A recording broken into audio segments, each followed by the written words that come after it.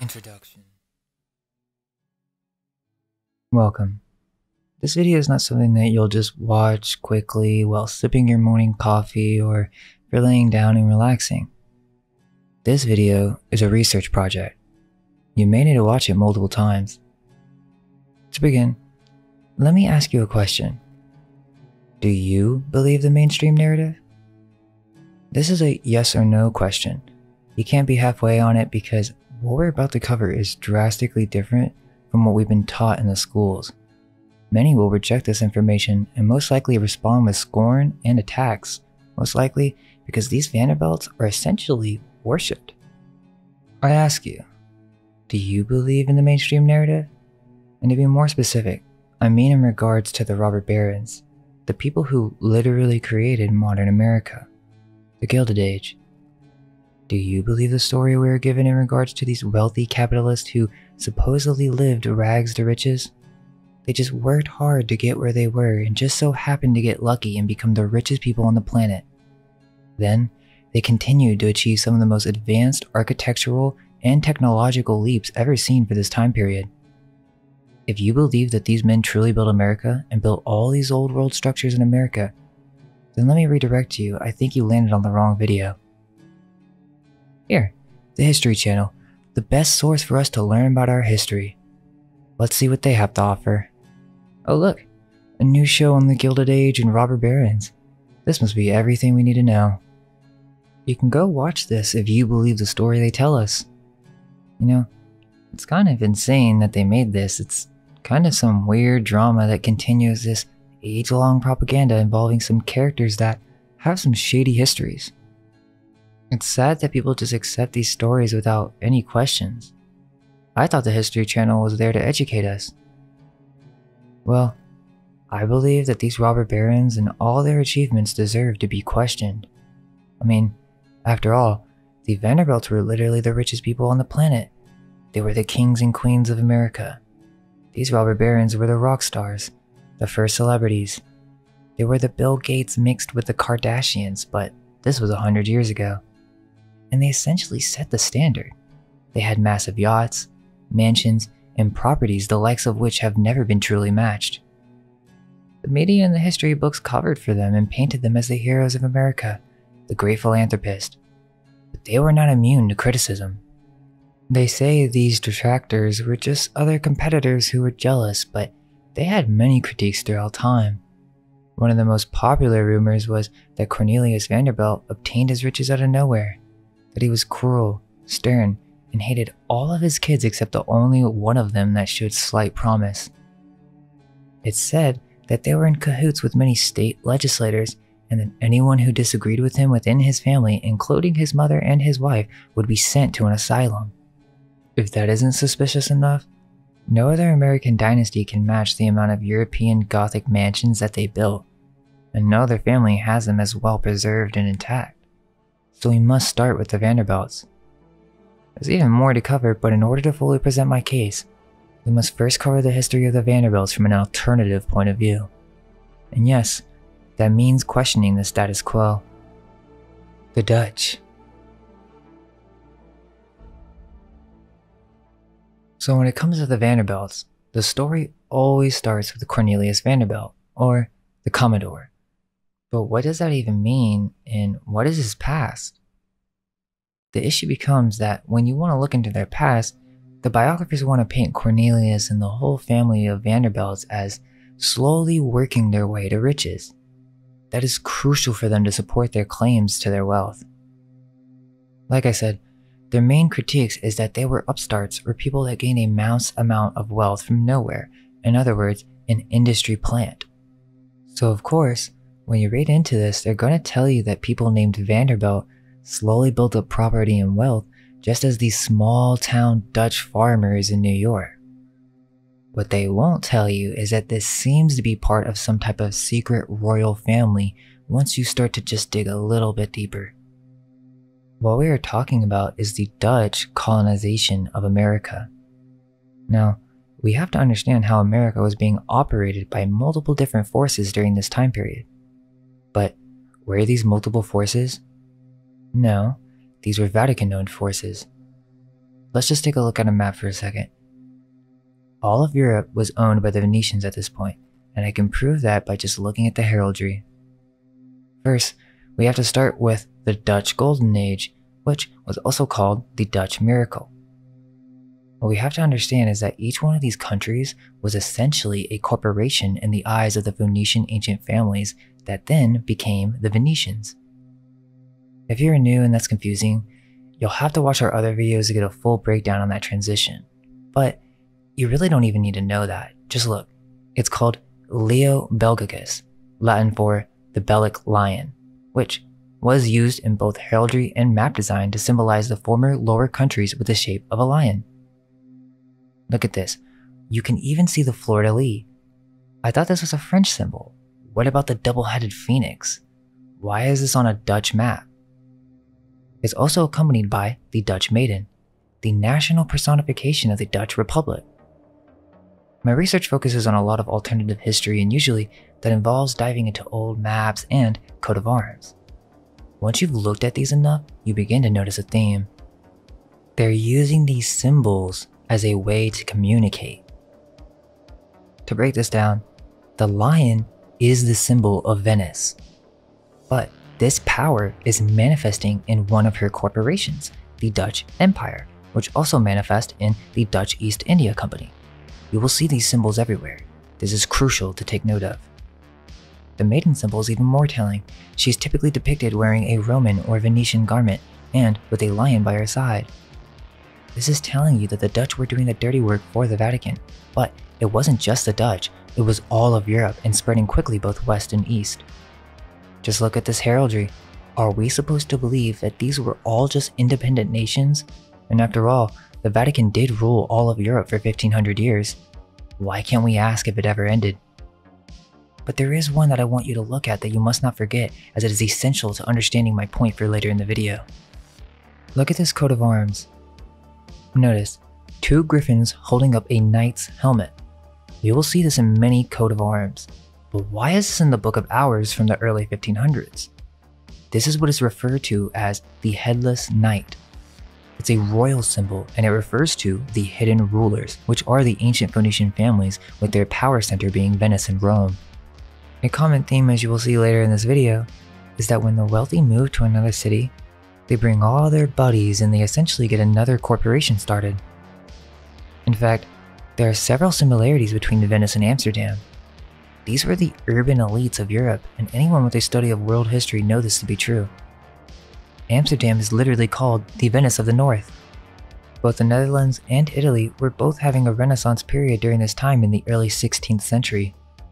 There's also this interesting read comparing the culture between Venice and Amsterdam, I'll leave the reference in the description, but essentially, the elite of Venice were moving operations to places like Leiden University, where if we look at the coat of arms, you can see who owns it. Now, I could continue to show you the similarities and connections, but I honestly think it's its own video, and the coat of arms of all these nations should be the proof you need, but if you want more, let's move on to the Dutch East India Company. This is another very important history we must understand if we're going to see the connection later on. After this Dutch Golden Age, which was because they merged with what was happening in Italy, eventually, the official United East India Company was started in 1602. We are told as a simple charter company for spices, but what this was simply was the first ever international global supply chain that created the biggest company that ever existed in recorded history. This again is its own video, but essentially, this is the first global company, the start of global capitalism, and you don't think the wealthy elite at the time had their hands in this? Supposedly, this company are the same people who moved around all the slaves from Africa to America. They tell us millions. Imagine how much money we're talking about here. They weren't merchants, this was literally a military power government, and it was even an agricultural producer. You could call an entire entity of its own, obviously, with it being a corporation. But There's a dark history behind this company and it involves population resets, taking control of industry behind the scenes, and moving people into newly renovated old world cities. To give you a perspective on how rich this company really was, which again was its own entity and country, they were worth more than Apple, Google, and Facebook combined, 7.8 trillion being the first supposed global capitalism. Right, they dominated the free market. Still, this number means nothing because you have to understand how much money was in circulation back then. It doesn't mean the same now. So they were even richer than that. You don't think there's something else going on with that story? Let me give you a hint. Whenever you want to know what's going on with who is in control behind the scenes, just type in coat of arms. Why is there a headless knight, a lion as a mermaid Phoenician symbolism, a fleur de lis, and an upside down pentagram. Why is that their coat of arms? You have to understand that symbols are everything to these elite. That will be one of our biggest tools in this journey. The first Van de Bilt. Okay, so now let's try to trace down the first Vanderbilt. Now, what we need to know is that before New York was New York, it was New Netherlands. For some reason, they don't really teach about this in school or really any of the biographies. But the New Netherlands were a colony of the Dutch West India Company. It wasn't just New York, it was essentially the entire east coast of the United States. That is important to note for later. It was conceived by the Dutch West India Company. The confusing part is that they separated Dutch West and East into two separate companies for some reason, but they are the same entity. Remember, I told you that they were like a country. So at this time, they say the early 1600s, they began their own country in America called New Netherlands. What we do know is that early Vanderbilts were a part of aristocratic New York clubs such as the Holland Society. Here's what the Holland Society of New York has to say. Quote, in 1609, Englishman Henry Hudson sailed for the third time to the Western Hemisphere looking for a shortcut to Asia under the employ of the Dutch East India Company. He sailed into what is now New York Harbor on his famous boat, De Halve Maen, in search of profitable ventures in the New World and to restrain the influences of rival nations. Associations of Dutch merchants and traders followed Hudson to America.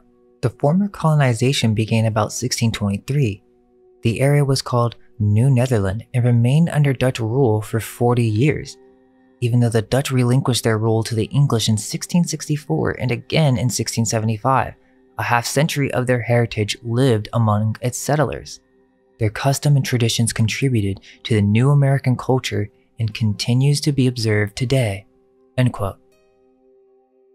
So there you go. This company, which was the biggest company at its time, would hire new explorers to search for, quote, profitable ventures. Hmm, I wonder what that means. Maybe it involves stealing other lands? Are we to question whether there were already inhabitants in these areas during these times? The first Vanderbilt that history will give us is Jan Aertson van der Bilt, a property owner in Long Island. It seems that his name is somewhat of a spelling error, as in many records they would shorten words, and so experts seem to agree that their family origin is the little town of Bilt in Holland. But there's more. I found Het Bilt or Het Bilt, which is an older municipality or district of the Netherlands. Bilt is also a conservative Hollandic dialect which is spoken here. If you search De Bilt, there's some info, the Bilt houses are the headquarters to the Royal Netherlands Meteorological Institute. Quote, it is the ancestral home and namesake for the prominent Vanderbilt family of the United States. End quote. So, we know they're Dutch and they come from Holland. We're also going to cover many techniques or tricks, you could say, that the biographers play when it comes to recounting the histories of these robber baron celebrities. One recurring theme seen with the Vanderbilts is to constantly find a way to explain their mass fortune of wealth. with many few truly dissecting the story in a critical way that questions their origins. They say they always from the beginning had big families, which is understandable, they use this as a way to explain their wealth as if each family member was constantly contributing to each other's businesses. As I was doing research for this, at some point there was a switch to English rule, but supposedly it affected them very little. In order to go any further, we have to learn more about New Netherland, which, let me ask you, did you really know about that? And if you did, be honest, how many people do you think know about this? Not too many, but this was New York, New Jersey, Delaware, and Connecticut, with small outposts in Pennsylvania and Rhode Island. But as we'll soon see, this was far larger. They are underplaying the importance of this colony in history, and you don't think it has anything to do with the Dutch West East India Company? They had $7.8 trillion. Let's remember that. They were there for 50 years, they tell us, possibly even more. 200 years, what do you think they could do in that time? Well, history tells us that when they first arrived, that progress was slow because there were issues with the natives. Hmm, I wonder what that means.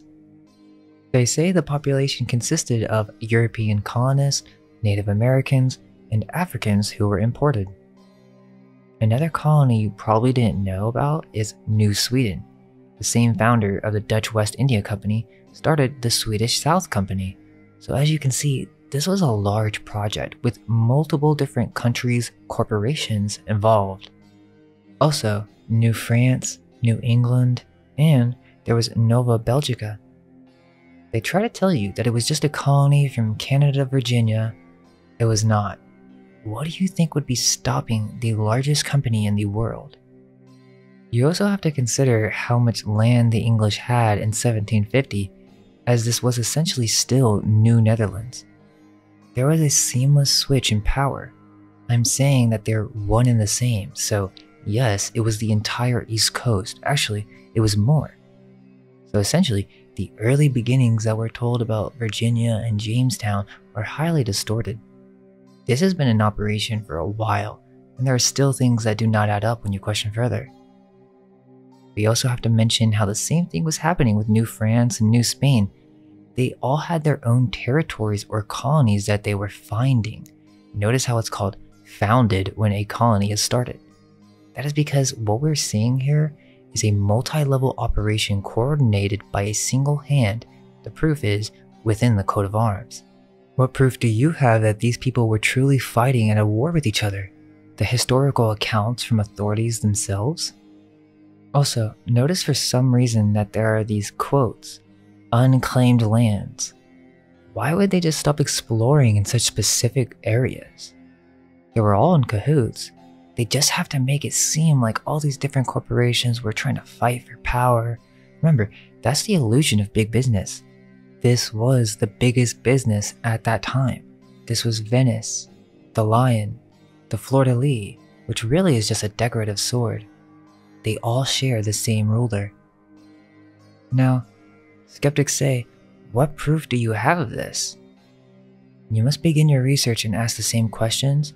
Resources will be provided, but do you really think the people that tell us our history are just going to hold our hands and explain every single detail? No. They'll tell you what they want you to hear and inform their brothers within their heraldry. This was multiple projects and they could have been competing like against each other as different ventures. Like when a crazy tycoon starts multiple business projects under different names. You see this in movies all the time. That is what these different countries were Spain, Britain, France, Netherlands. But who owned them? So essentially, the true origin cannot be trusted when it comes to these biographies. We'll be presenting an alternative soon, but first we must continue so that you can see how this all connects in just a moment. The story picks up with Jacob Vanderbilt, who is the supposed grandson of Jan Aertson, and when he got married, his grandpa just gave him a hundred acres of land, I guess. This was early Staten Island when it was known as New Dorp. They constantly like to mention that This was just a bunch of farmers at this time, just doing what they could. Yeah, for who? Who were they selling to? Hmm, I wonder, were they workers of the Dutch East India Company? I would think so, since the entire country was founded by them, so they were the kings, the founders of the company, they own all the farmland. One thing that I found very interesting when looking up the Vanderbilts was this connection to the Moravian Brethren, a German evangelical sect which came from the Bohemian Protestant martyr John Huss of the early 15th century. Bohemia is another Roman created corporation. Again, why do all these countries have the same coat of arms?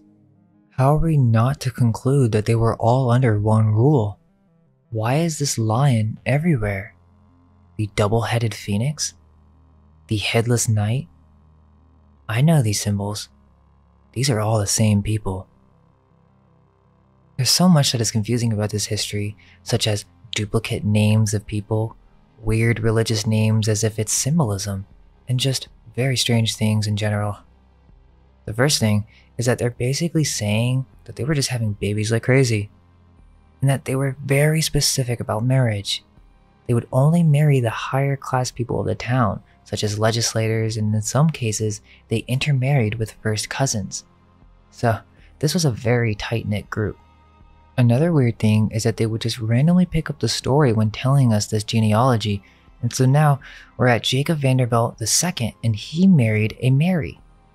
Then they have children, the seventh being Cornelius, but this is not the Commodore yet. This is the father who supposedly had a ferry service, so he was into boats as well, and he would just transport a few passengers here and there, but again, they're setting up the narrative. This Cornelius then married Phoebe, which I think there's something to that name that is weird, but she was higher class than Cornelius because her grandfather was a clergyman and her uncle was a general. Phoebe is the mother of the Commodore.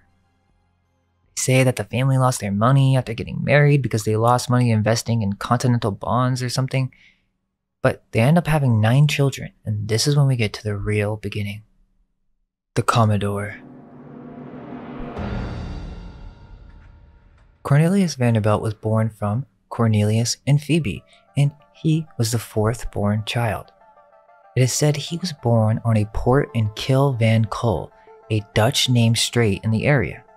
So this is where we get to the story. The story's all set up now.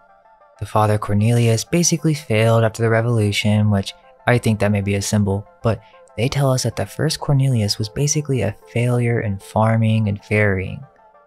They call the second Cornelius Cornell, who became the eldest son when his brother Jacob died. Another Jacob, of course.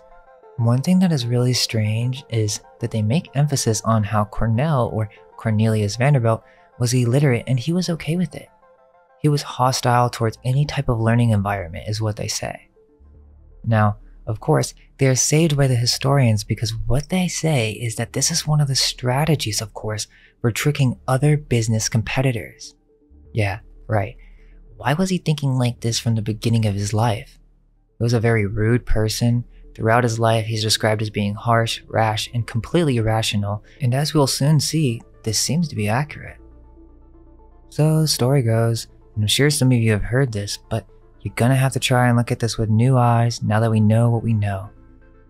His mother gives him a hundred dollars and he goes to get a piragua, basically a little boat, because I don't think he's doing anything bigger than that by himself and if you type piragua, this is what it looks like, which was considered to be a clumsy sailboat. So at 16, he just takes off giving people little rides in this thing, and let's remember that $100 is like 2500 maybe even more. So his mom just bought him a car at 16 and he was illiterate, is that right? All he had to do was promise that he would clear some acres of farmland or something. Sounds like they just wanted to give him property as well. They paint him as such a skillful and strong man. He could do the piragua all by himself, and he just went and made a humble living doing the job.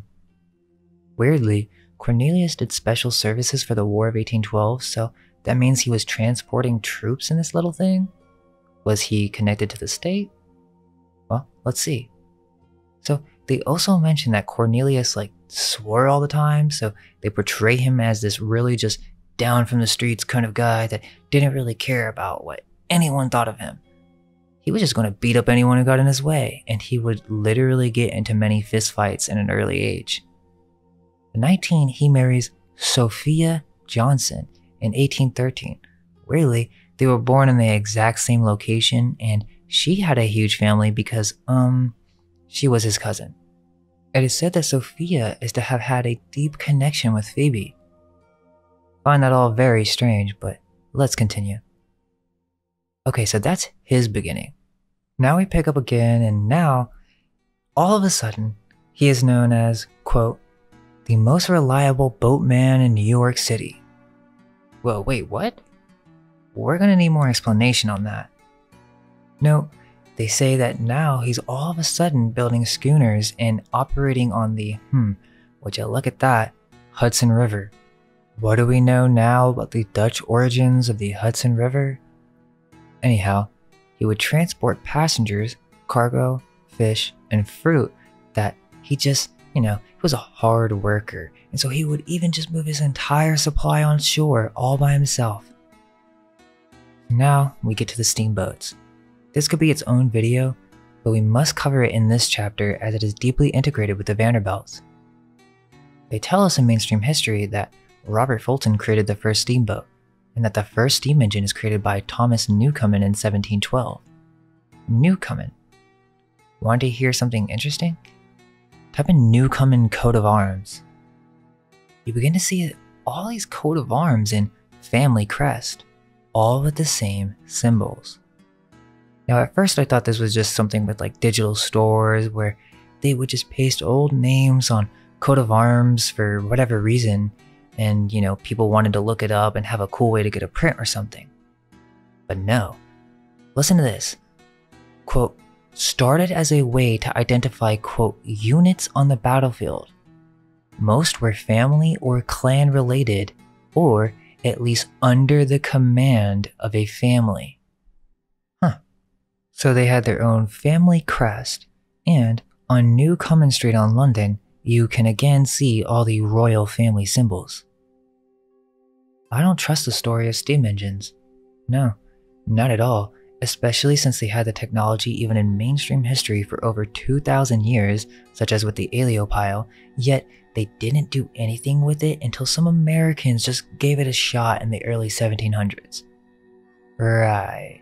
And you don't think the biggest company in the world at the time wasn't going to want to have anything to do with it? You don't think higher elites would want to keep certain technologies from the public? Okay, so let me get this straight. So it's okay for you to believe that UFOs are some secret, but you don't think the governments in the past were keeping certain technologies behind the curtain? No, this is what they don't tell you. The steamboats were not new at this time but they want to play it as if the steamboats were just some early technology and people just laughed at them because they were these small little things that made all this noise and they really just didn't compare when it comes to these large sailboats that quietly made their course. Or that's what they want us to believe. Because now comes the perfect opportunity to present this technology to the public.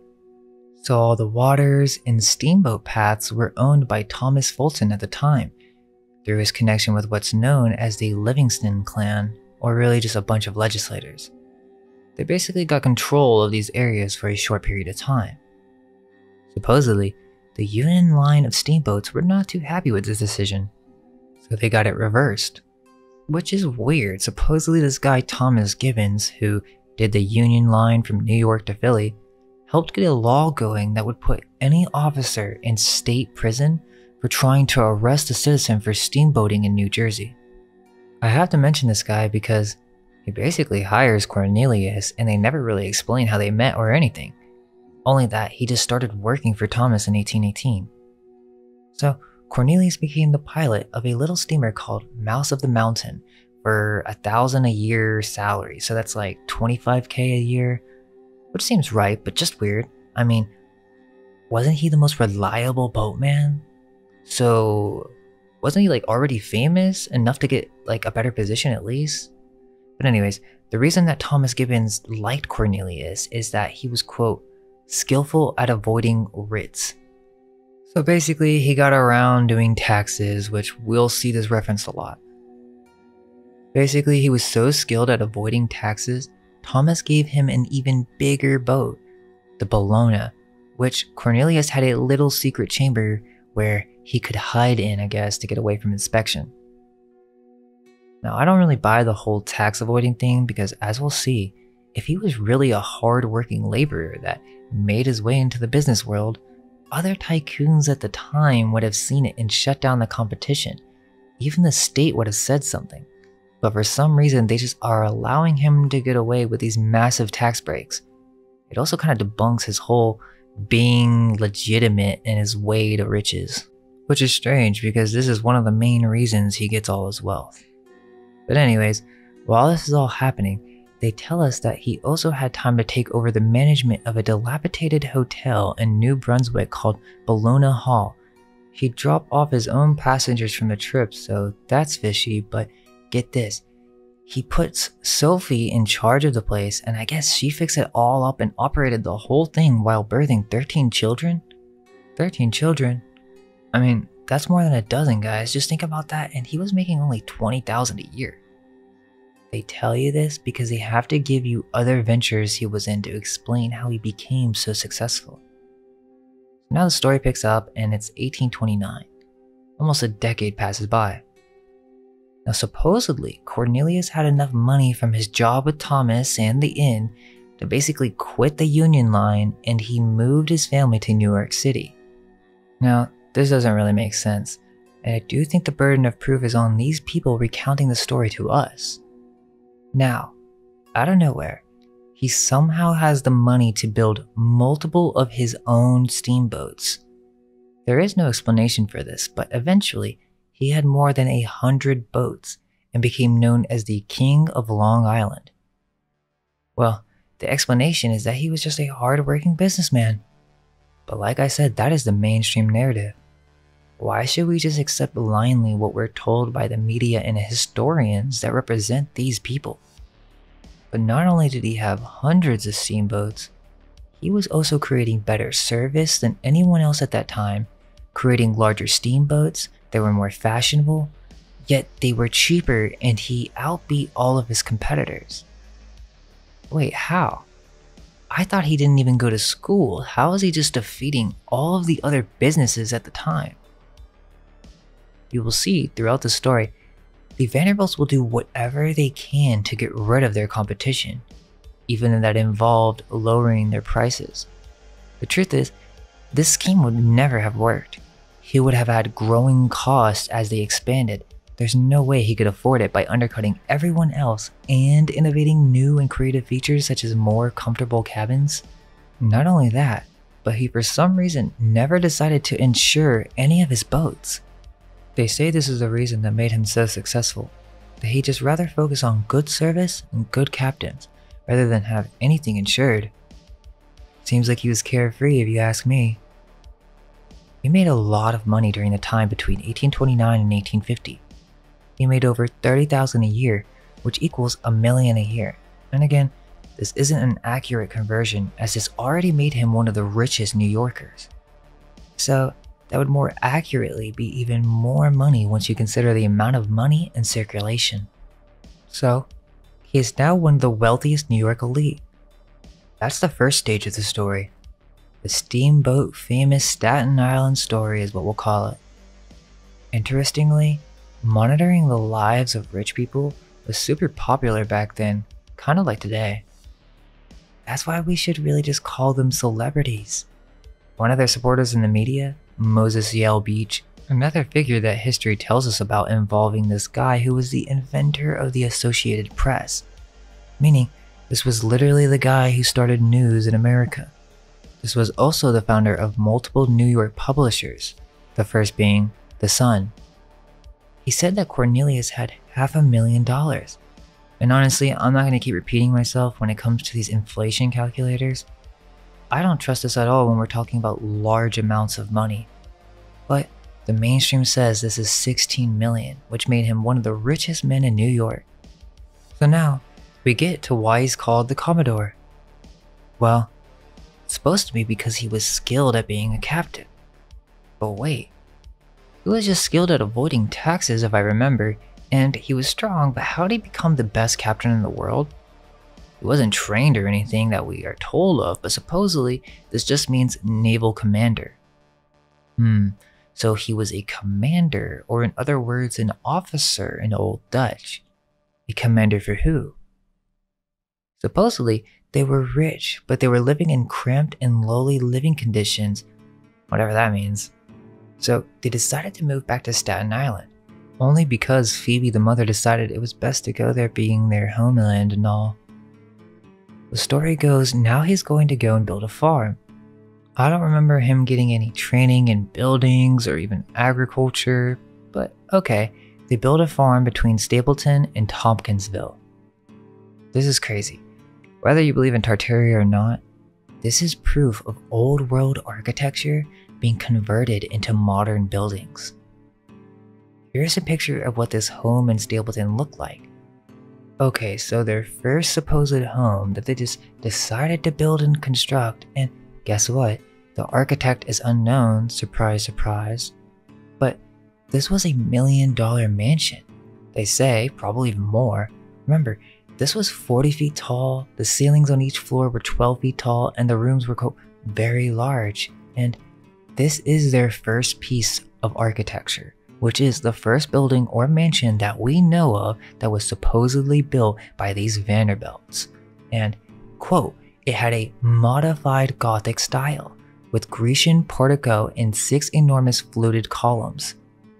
Here, Cornelius indulged in his three pleasures good whiskey, cigars, and horses. Yeah, right. Okay, where did he get the inspiration behind this? Go read the biographies. Not one of them is going to explain how he went from ignorant, cursing, fist-fighting small ferry boy who then somehow became the wealthiest man in New York with a taste for classical architecture. You guys aren't going to take the time to explain how that happens? Look at what it is today. It's just a Chinese restaurant, and look how drastically different it looks. This is what's happening with all these ruins in downtowns. They are renovated old world buildings that have been modified for new businesses. This is just one example that doesn't even require you to believe in Tartaria. This really happened and look how much it was modified. Now, of course, this is if you believe the mainstream narrative. But just look at it. Old world, new world. Again, you will have to bear with me. I'm just asking questions. So I'm assuming their whole family was living here, and very soon, the Commodore had children and they were having husbands that the Commodore would then get jobs to basically everyone in the family, which seems to me just a family tradition from their ancestry.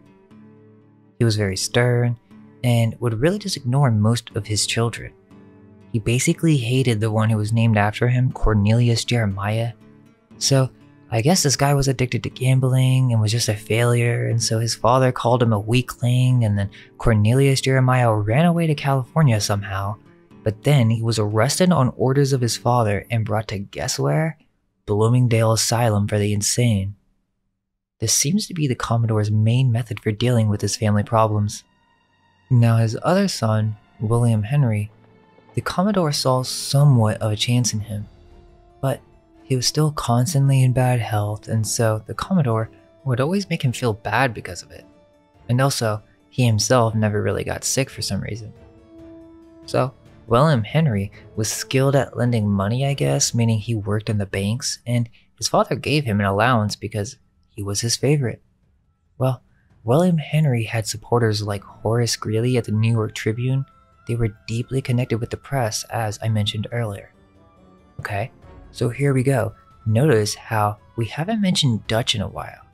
It's because the story really doesn't want to emphasize it that much. But William Henry marries Maria Louisa Kissam, the daughter of a pastor of the Reformed Dutch Church. Again, another prominent member.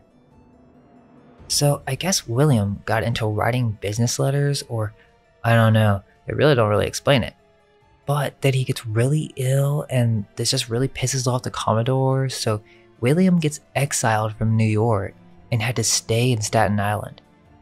These parents controlled every move of their children. William Henry becomes a farmer, and this is another weird thing connecting to the last video if you haven't seen it. But basically, the soil on Staten Island was horrible, so they had to import horse poop from Manhattan in order to fertilize the soil. They never actually say it's horse poop, all they say it's fertilizer. Whatever that means. So, William starts his own farm with all this new soil, and his dad is like, Oh, wow, this is impressive, son. I guess the Commodore was starting to be interested in horse railways all of a sudden, and he just decided, you know what, I'm gonna buy all this for my son and just use it for the street railways, right? They're trying to act like they went their separate ways, and the father was just impressed, so they made a deal with each other, but William earned the Commodore's respect because he somehow got the better of the situation. What are you talking about? He's your father. He's the richest dude in New York. Of course he has the upper hand. He gives you allowance. This is just another Commodore business, but okay. They decide, let's fix the Staten Island railroad system because supposedly at the time it had no money in it or it was in horrible condition. They tell us that this was just 13 miles and it was in horrible shape and all this stuff, but that can mean there were only 13 miles of usable tracks. Again, I think everything is up for question, given the history of these railroads which they tell us about. For example, they say from 1863 and 1869, so in less than six years, they built 2,000 miles of railroad across the US. Not only that, but there's evidence of railroad tracks being in America from the 1700s in Nova Scotia. This is not a new technology. Quote, from the years 1839 to 1842, he was a banking business as a clerk. This is of course William Henry. When he started, his salary was 150,000 per annum. In the second year, it increased to 300,000 per year. Later in the years, William's father decided to purchase his son a farm located at New Dorp, the farm was 75 acres and located between the Moravian church in the area. Hmm. The farm was not so big and had to be carefully taken care of and fertilized so they were able to grow crops. There was an outcome of success with the farming. William followed his father's success in lives by the motto of hard work during the day and rest in the night.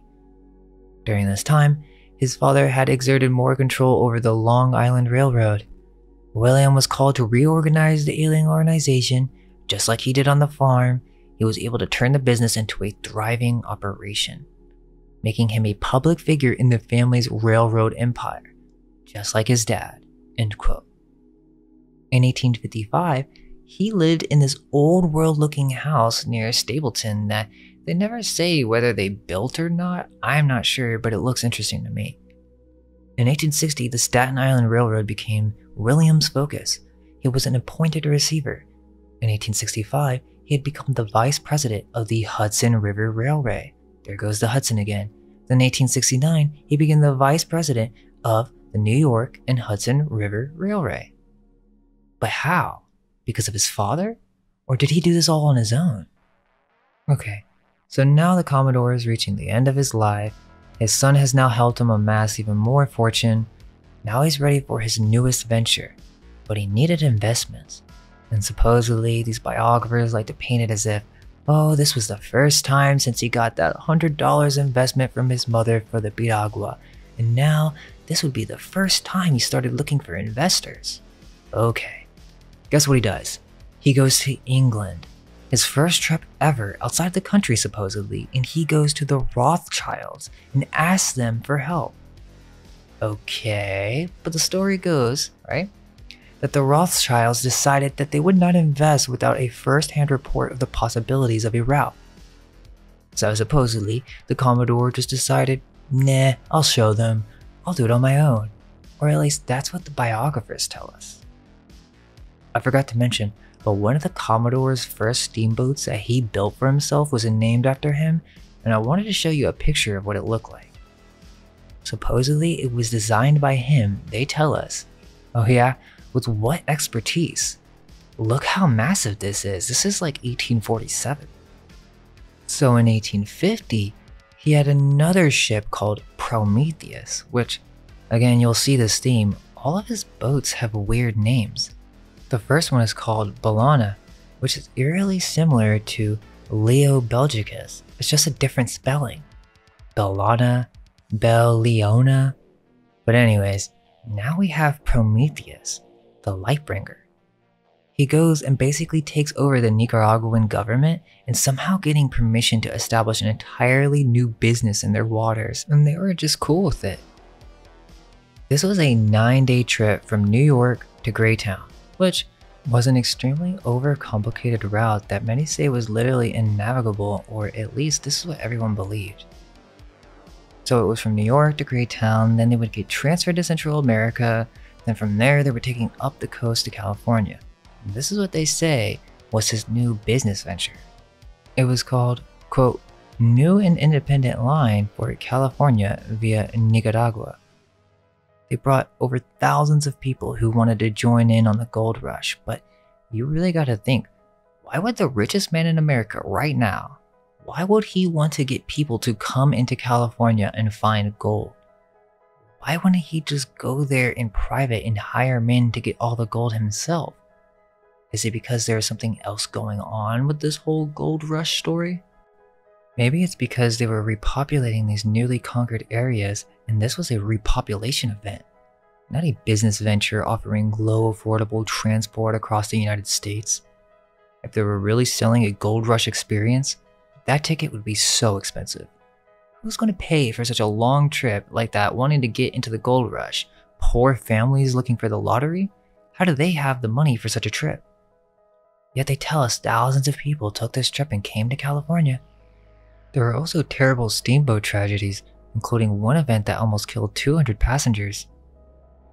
So, after making a profit on that, he sells all his shares and then truly becomes one of the wealthiest people in the world. You don't think that would garner any attention?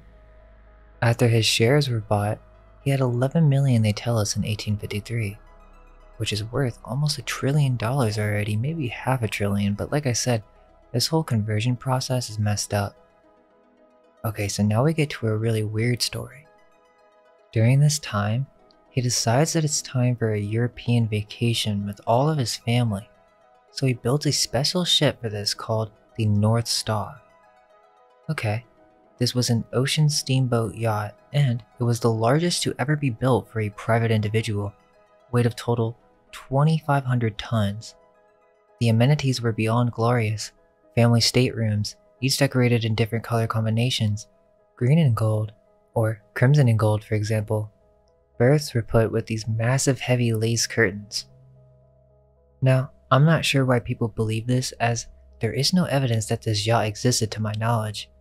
All I could find were engravings and models, but after World War I, it was supposedly given to the British and Canadian governments. So, anyways, they get the family together and leave some members out for whatever reason, and they're ready to set sail, but some firemen are like, we want higher wages, and the Commodore just says nope and fires them, and then hires new people or something. I don't know, I thought he believes in hard laborers, but he's like a prince now, so he doesn't have time for arguing. Mainstream history tells us that they left Staten Island and made it to Southampton, England in less than 10 days, which was an extremely fast time, maybe even a record for its time period, especially for a newly constructed yacht. They tell us that when they arrived, the British were just clueless to what was going on. A confused reporter from the London Daily News said, quote, He has come by train from Southampton and left his private yacht in the dock at the port. It's a monster steamer, and they basically describe it as being more magnificent than the Queen's yacht. Can't really believe this event because that would just be seen as disrespect. But no, they were invited to a soiree at the Lord Mayor of London's mansion house. They went, but the Commodore refused to make a speech. He was known for never speaking in public. Did you hear that?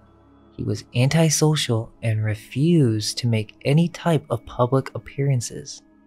That's important to note. Then the family set sail to St. Petersburg and they hung out with the Grand Duke Constantine, an admiral of the Russian royalty. The story goes that this was the Commodore's first meeting with any type of royalty.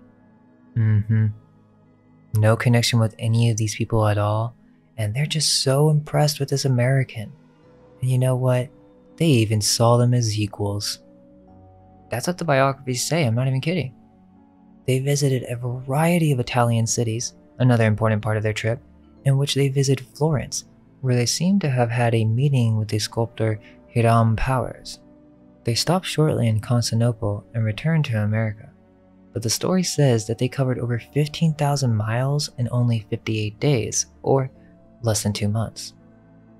Another common thing that you'll see is that there aren't too many of these expensive Gilded Age steamboat yachts. You would think that we would have hundreds preserved, but no, that's not the case. They tell us that there were 11,000 steamboats in America.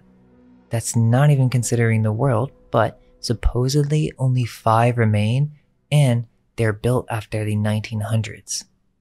So, after his luxurious trip meeting with dukes and queens, he basically gets into a dispute with the accessory transit company. Something to do with interest, but instead of suing them, the biographies say he took Vanderbiltian measures. He's quoted saying, quote, the law is too slow. I will ruin you, end quote. Then, I mean, we all know the story. He made them bankrupt by blocking their routes. Um, and this is the guy, so we're supposed to trust this guy. He then sold his New York to California shipping line and made a lot of money around 20 million, but most of it came from his ability to manipulate his stock. Okay, so the story picks up again, and now they're living in a townhouse in Manhattan because the Commodore is super focused on business, but Sophia's like, I don't like New York, I want to move back to Staten Island. But the Commodore says, How dare you question me, and sends her back to the asylum. Also, in every one of these cases, it's always other people that come to the rescue of these family members. In this case, Sophia was saved by her mother in law, Phoebe, which was one of the last deeds before she died. Remember what I said about their connection. She was then buried in the Moravian Cemetery in Staten Island. Why? There's no mention on why they're still connected with the Moravians. Isn't he just a hard-working businessman who started from the ferry business? What is his association with the Moravians? This also connects with the Astors, which is its own story, but they're all descended from these same royal families. I can keep going, there is more, but to finish off the history of the Commodore, his final moves were essentially the railroads. But there's an interesting story behind this. Supposedly, he was hesitant to get started or something because he was in an accident 30 years prior where he almost died and punctured a lung. Not sure about that, but okay. They basically want you to think that, oh, he was hesitant. He was scared of big old bad trains, that he's still being illiterate referred to as, quote, those things that go on land, end quote. So I guess he didn't even refer to them as trains, and he was afraid of them. But eventually, he conquers his fears, and then he just started becoming an investor in small individual railroads from different cities. Slowly but surely, creating his monopoly so that he could connect all of them to create an everlasting transportation empire. Hmm, doesn't that sound familiar? Before that, he supposedly accomplished that vision through mass manipulation of his stocks, and with all this money at age 70 now, he's still not done, which, by the way, there's only one photo of this guy taken in the Civil War, they say, but now he has control all of New York, Harlem, and Hudson Line, and then he went for the New York Central Railroad. His final big move was continuing to expand with New York to Chicago. This new conglomerate revolutionized rail operations by standardizing procedures and timetables, increasing efficiency and decreasing travel and shipment times. Or at least, that's what they want us to hear. They tell us that out of nowhere, the Commodore became interested in the occult, and after Sophia's death, he sought the help of the Claflin sisters, two mediums that could allow him to communicate with her.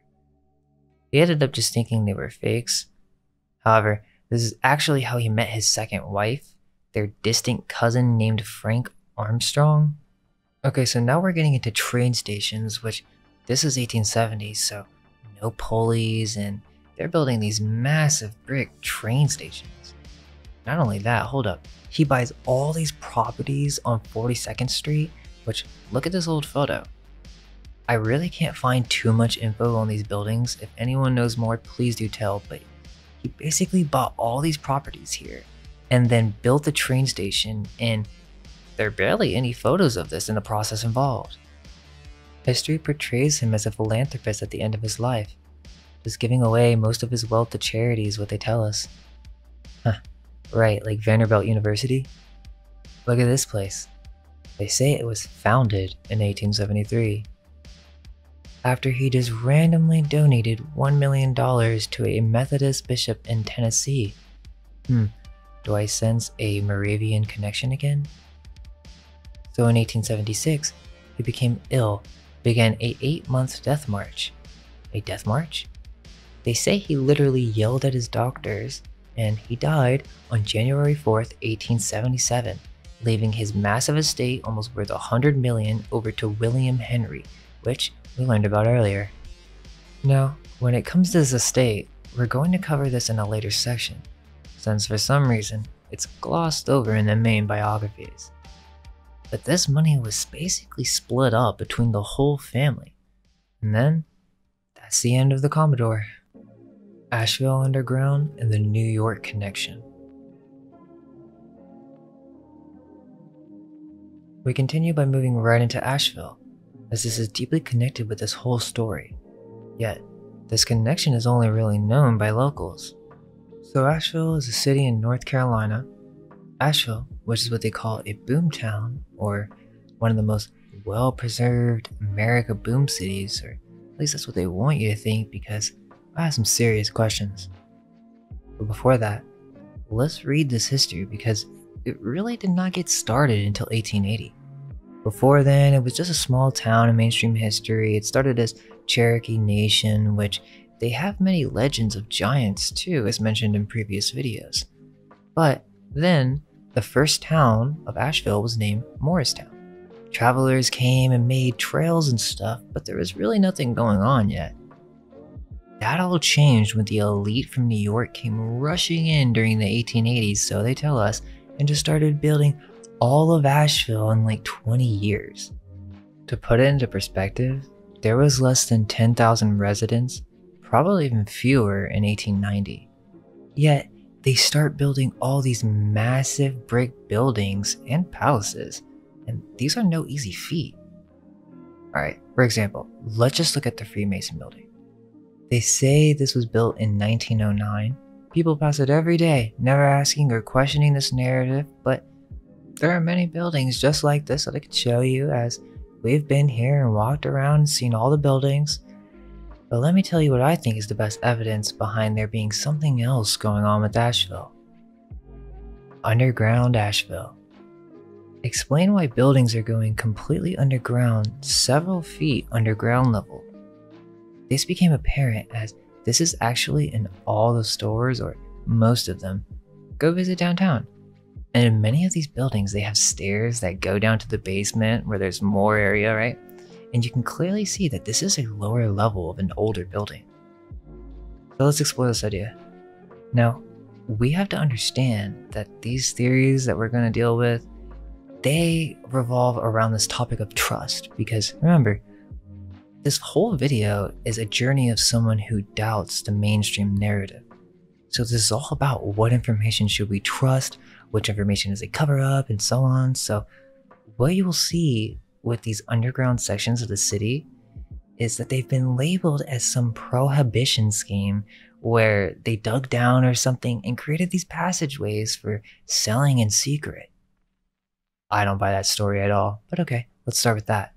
Underground tunnels is tonight's Ask 13. News 13's Frank Fraboni is with us. And Frank, could there be truth to the rumors?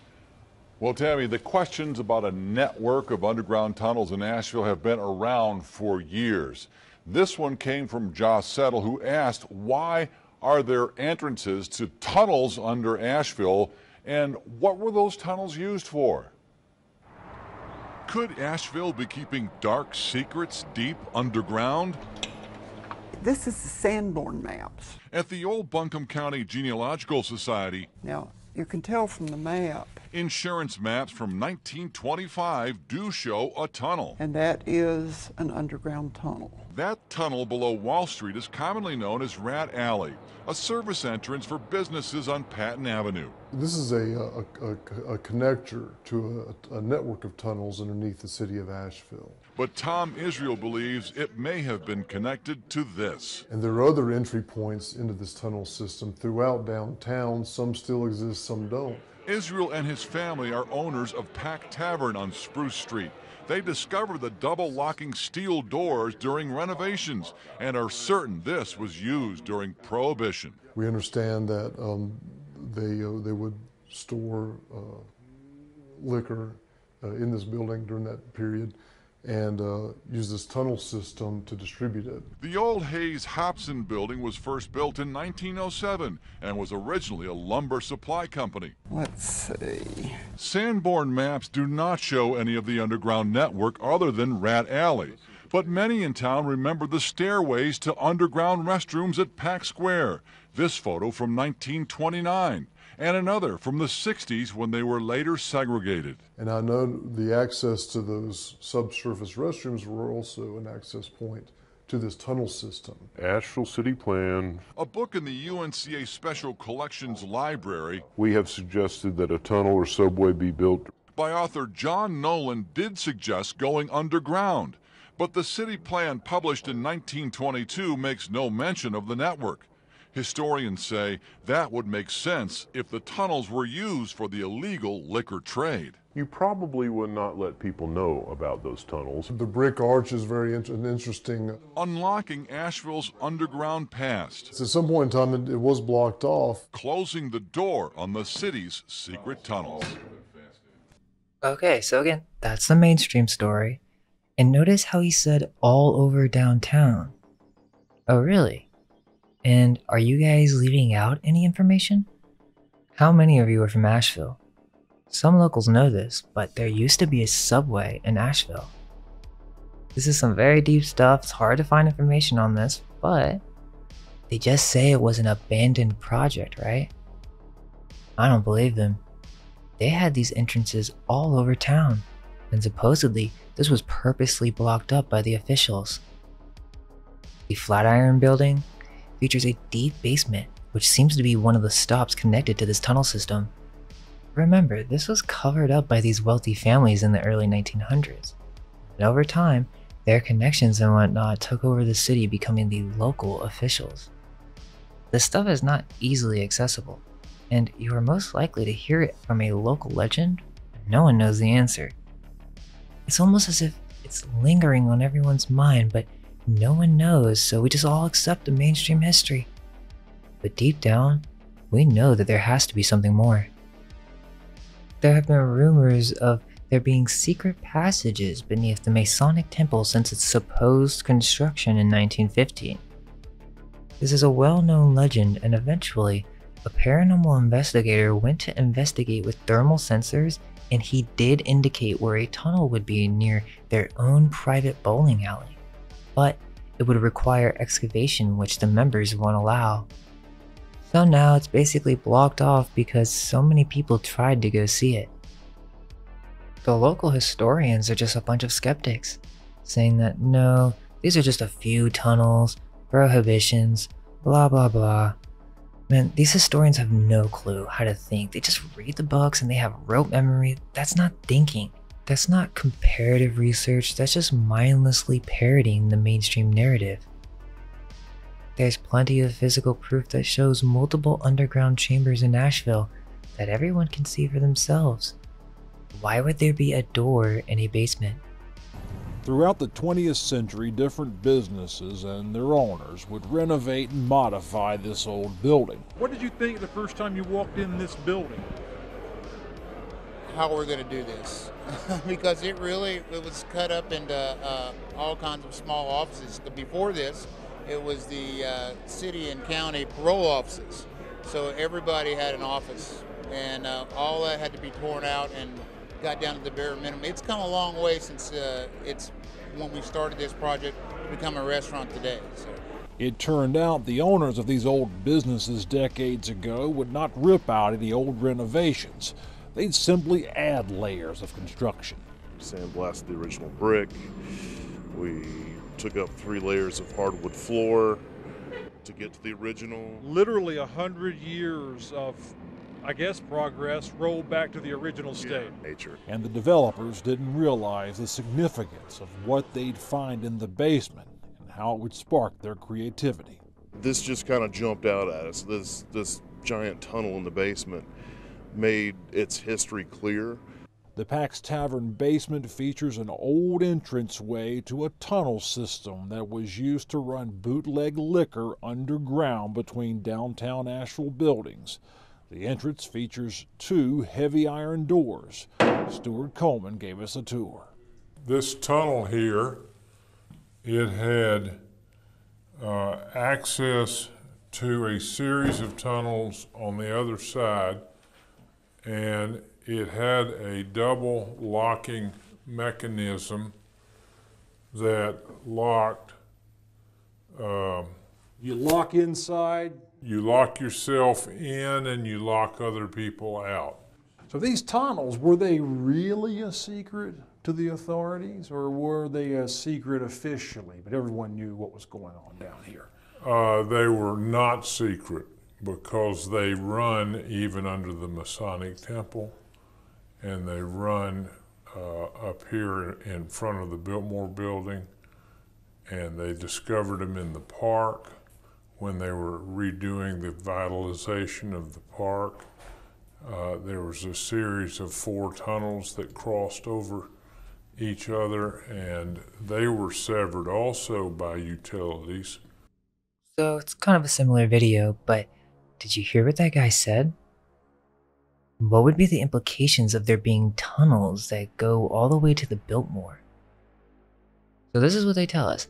They just built this whole city, which is completely on a hilly landscape with all these interconnected underground tunnel systems, basements with doors, a supposed subway project. How the heck did they do that in 1880 in such a short time period and no one's gonna ask any questions? Subterranean levels to a city imply that they were actually the lower level of the building. I know that is not what we're taught, but why else would there be windows and doors in a basement? It's almost unimaginable because the alternative theory is so drastically different from what we have been told in our schools. Our programmed minds trained to react when faced with such cognitive dissonance must label the material as ridiculous, a complete fairy tale. And even though that may be the case, reality is far stranger than we were led to believe. I don't think we know everything about reality, and we deserve to question what we were taught in mainstream history. Do you believe everything we're told about the robber barons? To be honest, I don't, and I deserve that right. They have the burden of proof, and I'm just not convinced. I see red flags everywhere I look, and now that I look at this whole subject with new eyes after looking into Tartaria for so long, you can clearly see that this is some type of propaganda to some degree. I think we can all, or a large majority of us, agree on that statement. They were celebrities, right? They were married to state politicians, right? Let's ask these questions as it does seem that many people are beginning to wake up during these times. With that, we go to the final chapter Biltmore Unveiled.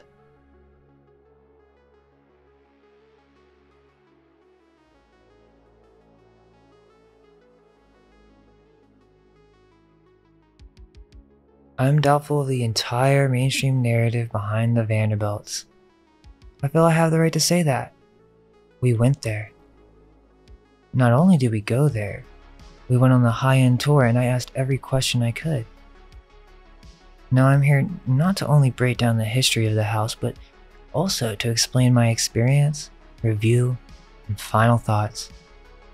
You don't have to believe a word I say. Feel free to go to the mainstream narrative if you want. That's the official story. I'm just going to give my opinion. So, William Henry had a 58 room mansion in Manhattan for some reason, and he supposedly funded both Columbia University and the opera in 1883, right? We had all these properties on Fifth Avenue in New York.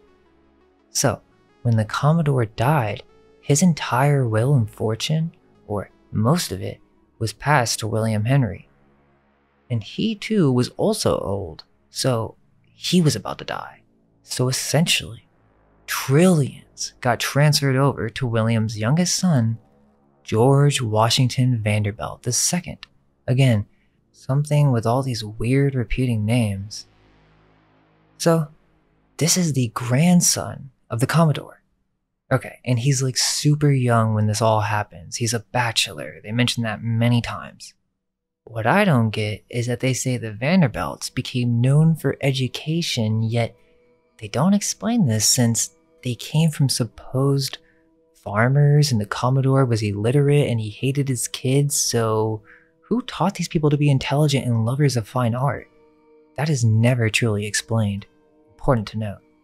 So, they just started giving their money away.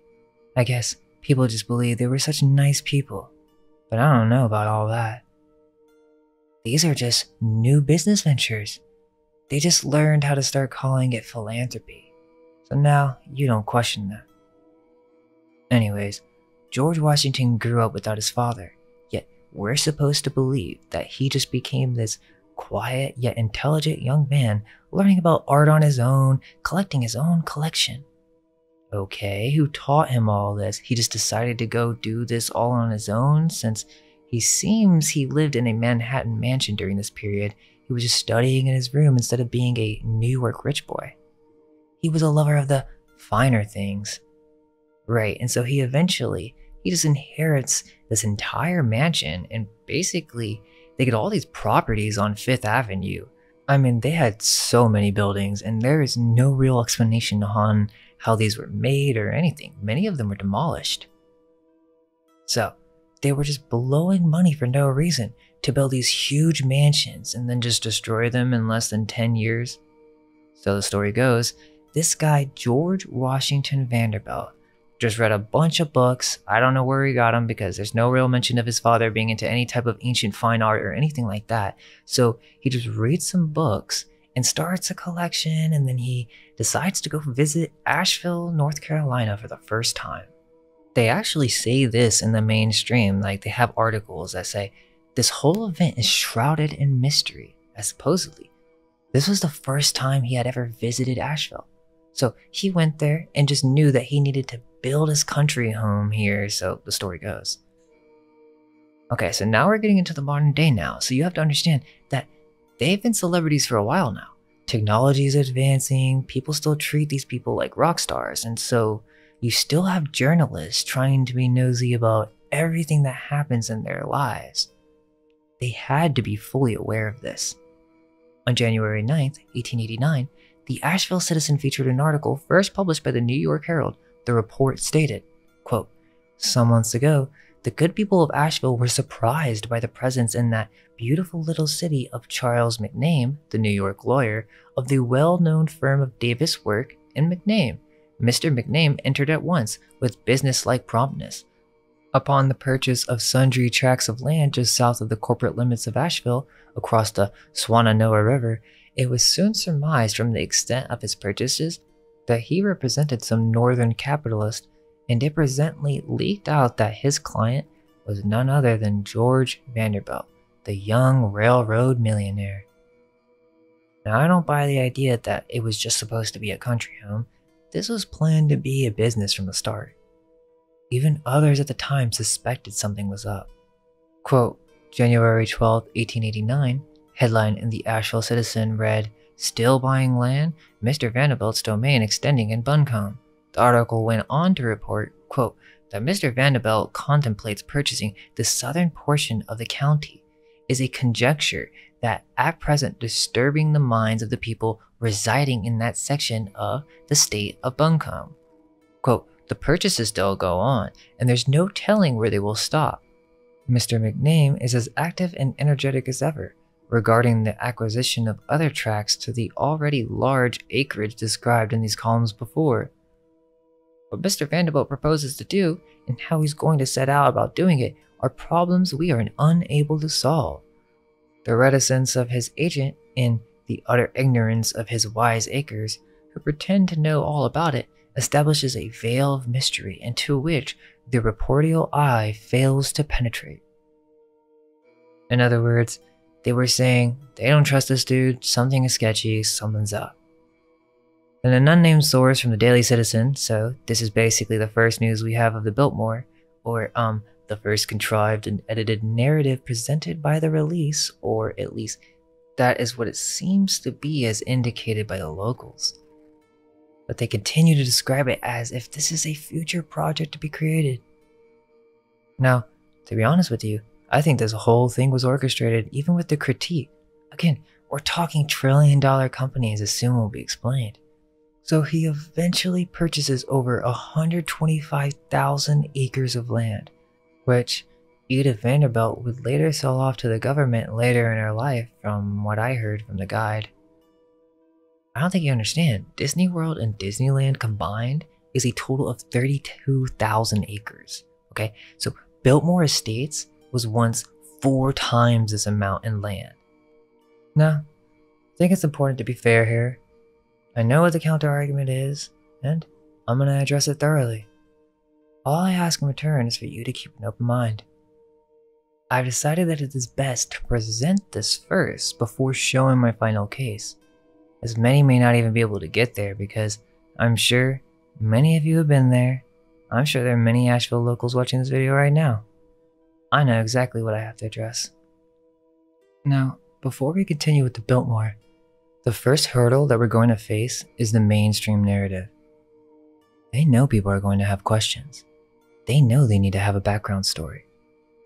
So, as a guest to the Biltmore, as you enter the estate, there's a guest center that you can sit in and it will explain the entire history of the Biltmore.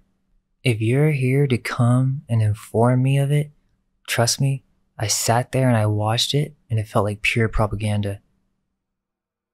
But if you're interested in hearing an alternative, but you also want me to explain the construction photos, well, here we go. I'm going over it. So, first, we're presented with a set of specifically designed photo shoots of the construction of this building. Now, for the majority of the population, this is enough evidence. Not only is it enough evidence, there are no questions even asked about this building and their family by the vast amount of people who visit it. The main and only counter argument is there are construction photos.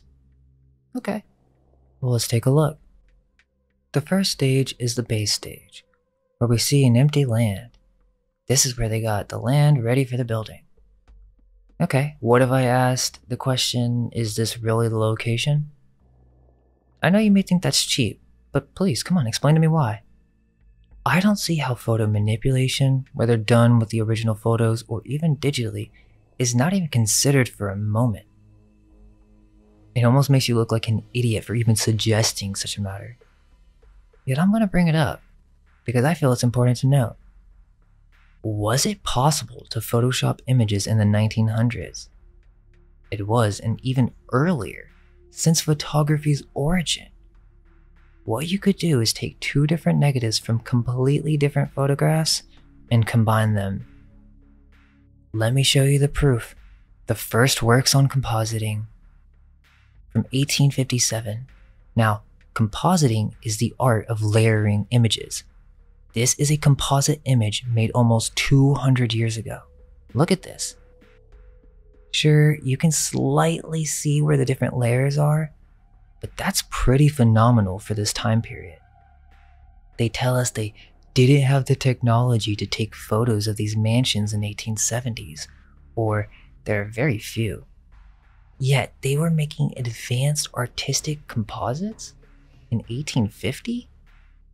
Remember, the Vanderbilts were artists, especially George Washington Vanderbilt. You don't think they knew of this technique? And let me ask you if you understand what the media does today and the way they manipulate the narrative, even by constraining and limiting what you can see and know, you don't think that was happening in the past? Why not? These are trillionaires. You know what they say? In the next construction photo, you can see them lifting the bottom base which we're going to take a look at in a moment from other angles. But this is what they want you to see. Just a few men in top hats, few workers using pulleys lifting up huge stones and placing them effortlessly. Except, we don't see that process at all. All we see is the stones already laid down and a highly contrasted image. Don't worry, I'm going to explain even more. I'm not saying anything is just fake, just follow me for one moment. Okay, so those are the beginning stages. Then we have the bring up the arches stages, which again, there's no process of. They told us this was all done with just pulley systems, no modern equipment of any kind, and that they would use horses to pull like the really big heavy items. Now, I can see stonemasons thinking this is actually possible, but no, it's not actually possible in this fashion. You know what they say? That George Washington just hired a thousand workers, and these weren't skilled artisans, they were just local labor workers, and they just built this entire structure in six years. Okay, so tell me why this has never been replicated and no one else can even get close to the massiveness of this structure, including the largest basement in America, and as we will soon cover, underground tunnels, as was heard in the last chapter. So they built underground tunnels. I didn't hear one thing on the guided tour about this. There were no construction photos of this. Now, I'm not here to tell you these photos are fake. I don't know, but you don't know if they're real. I will go ahead and explain that what most people will find to be the most moderate answer as this was actually built on top of an old world Tartarian structure in this area. Let me show you the base. You can see how the bottom base looks much older than the upper portion. Not only that, these are massive stones. I really don't think they were pulling these up on pulleys, and I don't see why I would, as there's no photos of them doing so. Here's a picture of where the gates are in that whole hill area that overlooks the house. We don't really see any construction photos of this area, and so I guess we have to assume that they were just moving all this dirt, placing the stones, and I mean, it kind of looks pretty old even in these photos. Okay, so we don't even have any construction photos of the building to the right of the Biltmore where the bookstore and the cafe is. There's also an under level section here as well they'll only show you the construction photo where it's at the scaffolding stage of the building, so it's already done. So yeah, just bear with me as there really is so much to cover, including multiple different theories, one involving secret tech, so there really isn't nothing to lose. All the information will be provided, and at the end, you can decide for yourself what you want to believe. I still haven't even presented what I believe to be the case yet. Not only do we go on this tour, explore everything that we could. But we went to their own bookshop, we bought their own collection of propaganda for us to read and study along with multiple trips to different libraries in person and online in order to give you this alternative history on the Biltmore. What you have to understand is that if you accept these construction photos as truth, then you have to accept the mainstream narrative. Yes, you have to accept everything they told us about the robber barons the Commodore, that weird European vacation, all of it. You have to accept it, including that this family worked their way from poor to rich. That's their main message. It's like the American dream, and people just sit there and think about how overly wealthy this family was. But you don't think this could be a part of something bigger? If so, then stay with me as I continue to share what I've learned about the history of the Biltmore and also our experience with going there in person. I mean, bro, I was on the roof. Okay, so what are some weird or even unique things about the Biltmore? Well, of course, the Vanderbilt history, the out of nowhere rush to Asheville, seemingly out of nowhere, and everyone thought it was strange for the time. The Biltmore was fully supplied with electricity when it was first built, completely running on DC, so it had electricity almost 30 years before others did. It also has the oldest elevator of its kind, and it's an original. Now, I asked the guide about the sewage systems, which they weren't even going to cover.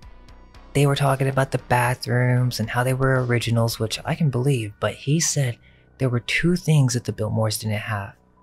AC, and waste management. They used chamber pots, and the few bathrooms they had were simply dumped straight into the river. So let me get this straight. George Washington Vanderbilt decides that this is the perfect country home. He's basically going to set up this estate for inviting wealthy New York elites. And then basically, they just dump their shit in nature. And no, it's not for fertilizing. They just had no other method. Yet they can build castles unlike any other workforce in America, and it still can't be replicated today? Remember, 1,000 men with pulleys.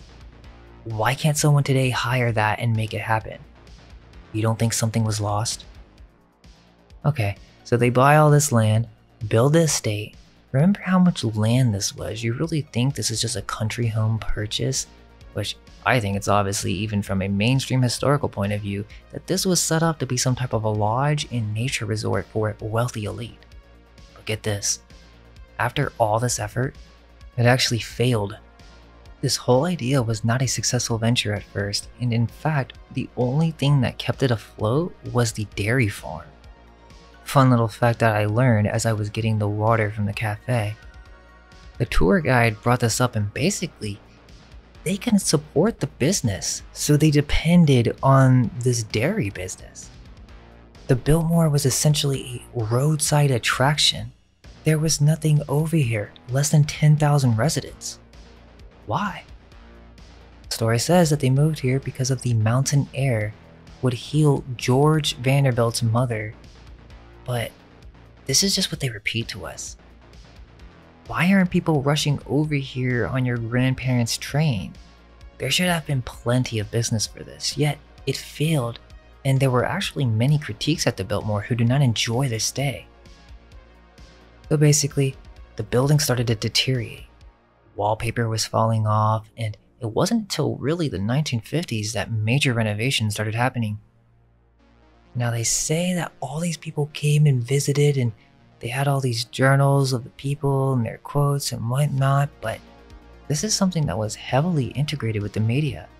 As the President Theodore Roosevelt visited the Biltmore and even his daughter Alice, which they had like this whole story that takes 30 minutes on the tour and they tell you all about it. You know where we get all these events from? The media, the press. Hmm, who started the Associated Press again? Also, did you know that on the Biltmore estate, the Shiloh neighborhood included approximately a dozen former slaves? It included several homes dotted along what once was the land of their former owner, a church, and a cemetery. When Vanderbilt bought this property, he paid $1,000 to the church. Okay, so wait. They're telling you there were slaves on that property and there used to be a church there. Hmm. Okay. Now, we must cover what I consider to be more constructed figures known as the two architects behind the Biltmore House, which dives us into a deep topic too immense for a single video, which involves what I consider to be fake architects. Richard Morris Hunt was also the architect for other houses by the Vanderbilts, designed this house in a chateau-esque style, which seems to be based on Waddesdon Manor. Keep that in mind for later, but they have many similar features. This is also the Rothschilds' vacation home. Remember, supposedly, their families had nothing in common, but they visit each other and stuff? The other architect, Frederick Law Olmsted, now We'll come back to Hunt in a second, but Olmsted is a big deal. He's responsible for not only Central Park and many other sites, he's also the architect behind the Chicago's World's Fair.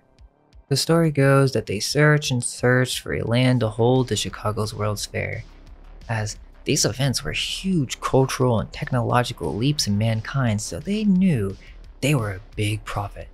Also indicating that these architects, or supposed ones, they were a business. I'll show you what I mean in a second.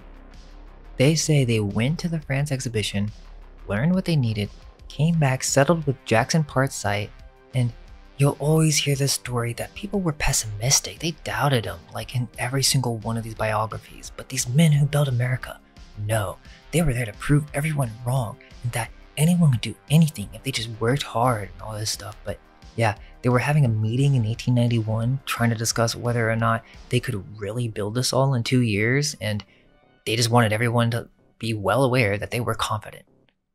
Even if this is plaster, there are no construction photos of this process. Maybe a few close up ones with some scaffolding already there, but that's all. They're already in their final stages. Now, that may be convincing for the masses, not for me. How do they make these embankments? How do they dig this all out? I don't care if this is just plaster and wood. If it's so easy to just buy all these cheap supplies and make something like this, then why has it never truly been replicated? This would have been a massive business. This is far too big of a project to complete regardless of the resources used and these wealthy elite building these places had more than enough opportunity to document everything they were doing. I mean, we're talking about people with trillions in wealth. They had the tech.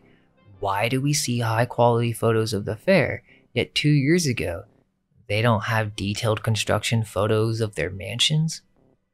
If you're one of these exposure people and or the tech for photography wasn't there, that's the mainstream narrative.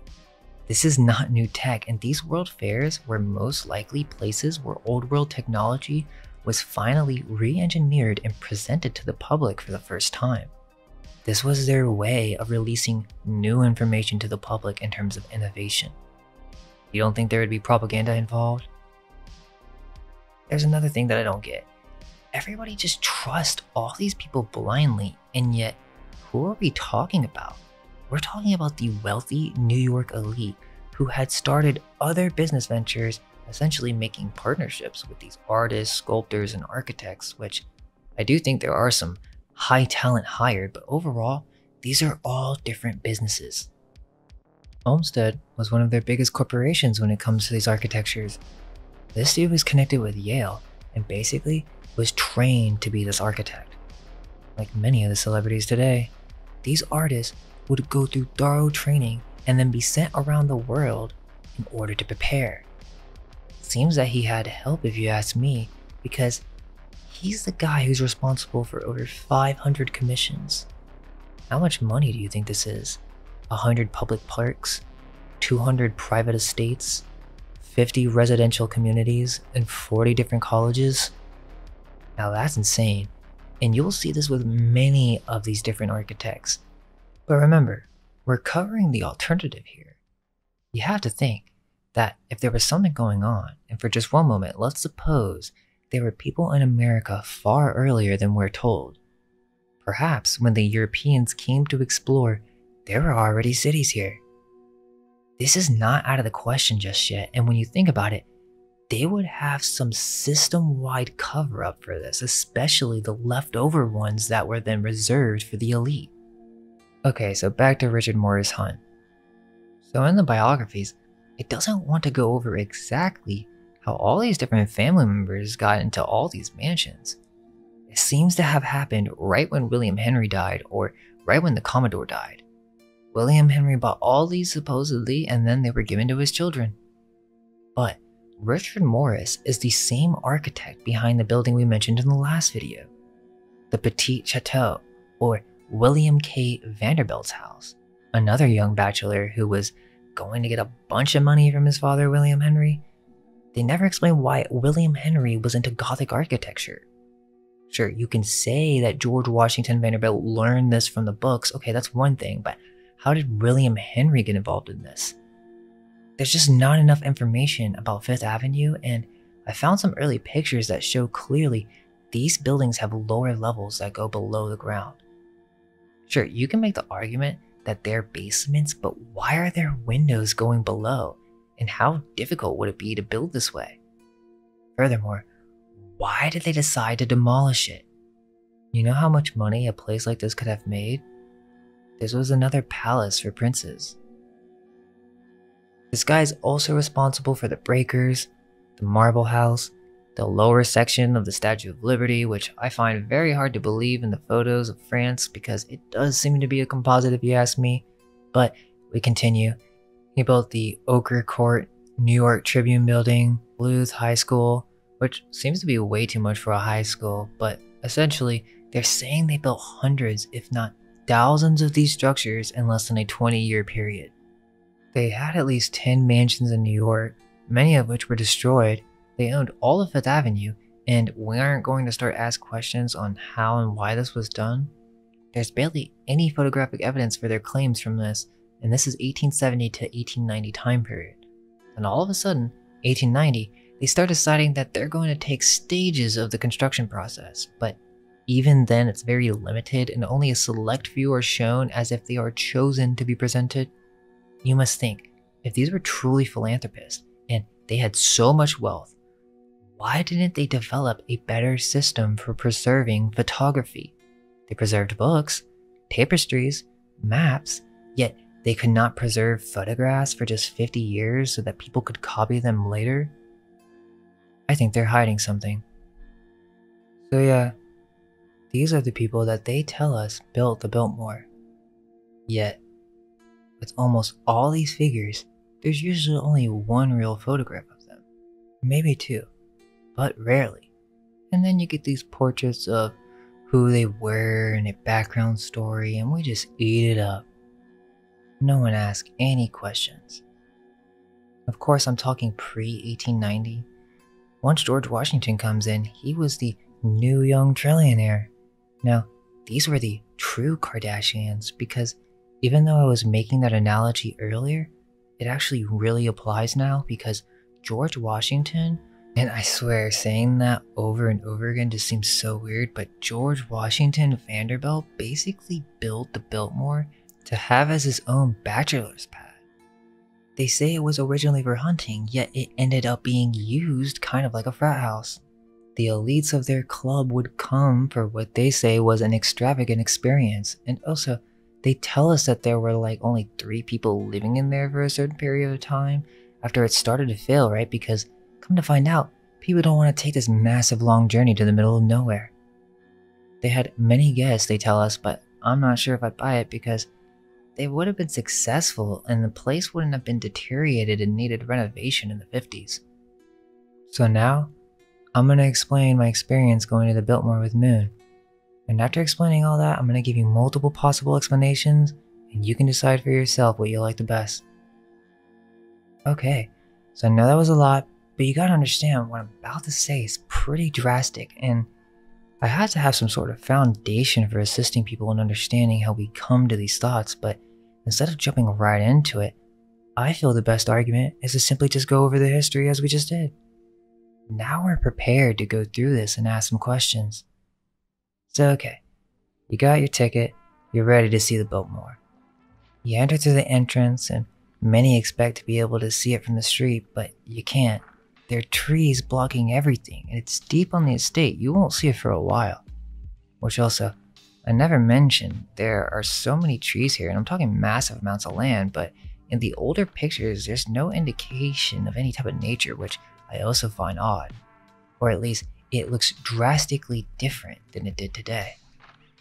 Okay, so you have to drive for a couple of miles and once you pass under an interesting bridge, then you continue to find parking, take a shuttle, and after 30 minutes from originally entering, you're finally at the Biltmore. First note, when you enter the gate, there are sphinx that guard the gate. So you come in and they drop you off. So yeah, here's what it looks like up close. Now, we're going to be observing many symbols, and it's important to constantly ask, why and when did the Vanderbilts get such an interest in this level of symbolism? You guys notice anything? Why is there a lion statue in front of the door? What does William Henry or George Washington have to do with lions? How would he know about this unless there is some type of secret club we don't know about where they learn about all this symbolism. Look at all the ornate detail. The level of art put into this is insane, and we never see any photos of them doing the detail work. If you look closely, you can see that there are coat of arms at the top of the building, and they each are saying different things. You can see gargoyles, weird faces everywhere, almost like peasants or something. You see these over the windows, over arches, in every possible place. They added insane amount of detail as we will see. It's much better to come early, as later in the day, it gets extremely crowded. So we walked around the left section where you can go right under the arches and see the pillars up close. So first off, it's pretty amazing, not gonna lie, but to be able to just chill under there as we were taking photos, we noticed that the pillars had these fleur-de-lis, but they also had the older form, which was a dagger or the sword, which again is royal symbolism that has been seen on coat of arms for hundreds of years. Why are they putting this here? Now, of course, people might say French inspired, but is it? Because we're going to explore that even further. Okay, so we go into the court side by the garden, where there's this massive empty space where there used to be a pool, but now it's just gravel. But over here, you can see a couple interesting things. Over here is a windy tree that's pretty cool. And also, you can see the back of the house.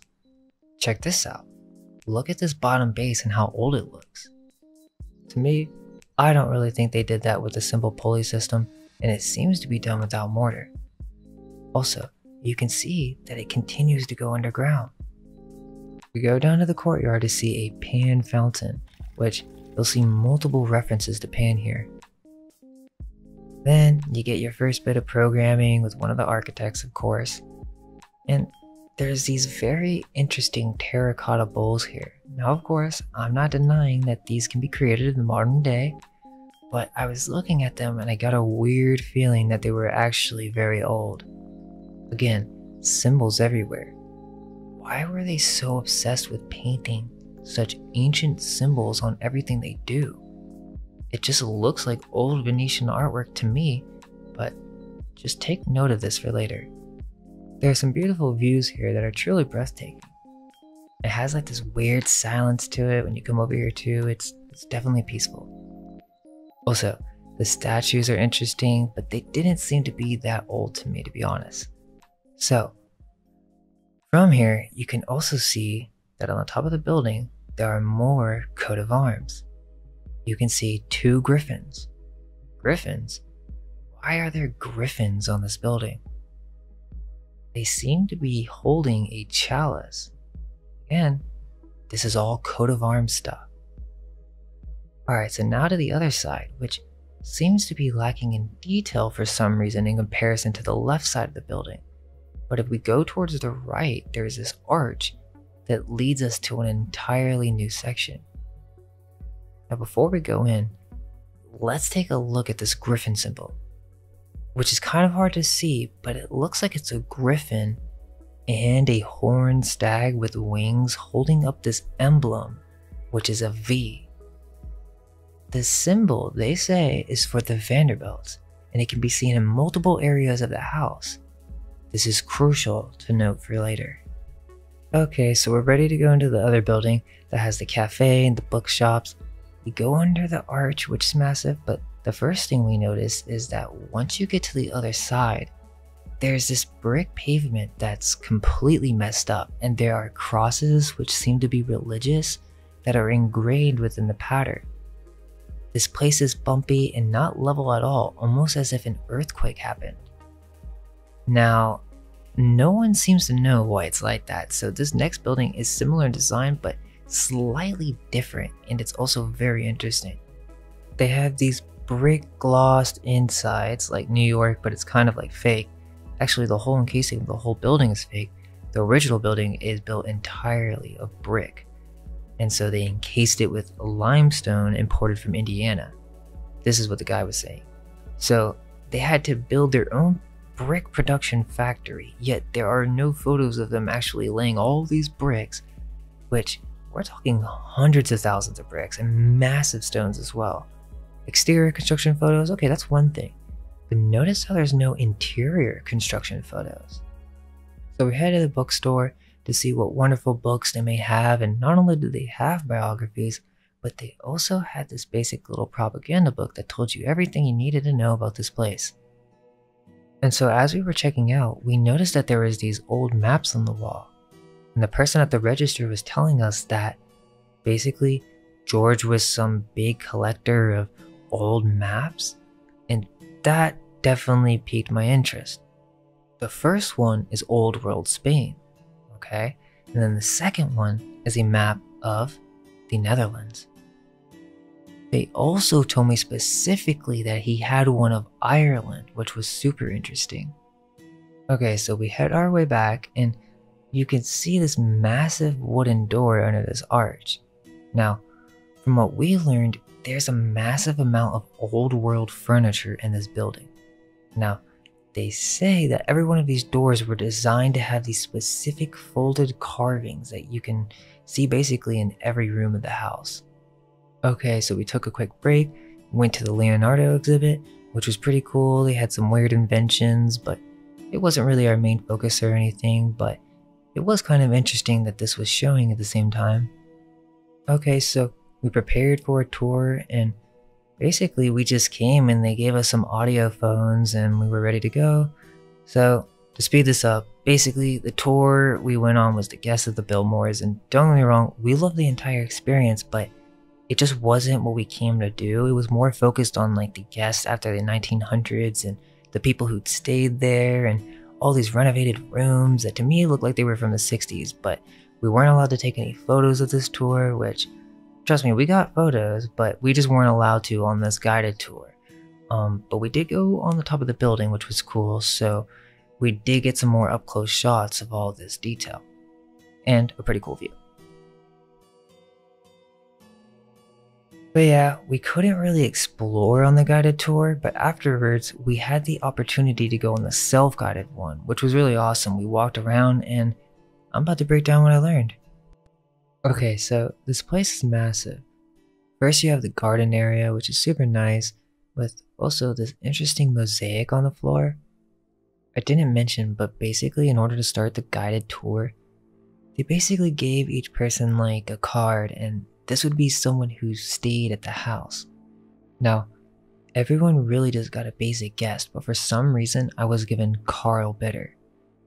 Now, when this happened, me and Moon looked at each other at the same moment we were like, no way, because I'm not sure you guys know. I mean, I have said that I've done 3D art, but I started off doing sculpting, clay, and pottery, so I'm pretty much a sculptor in my spirit. And it seems that the tour guide either knew or for some reason that card was given to me, but I can tell you right now, that was not a coincidence.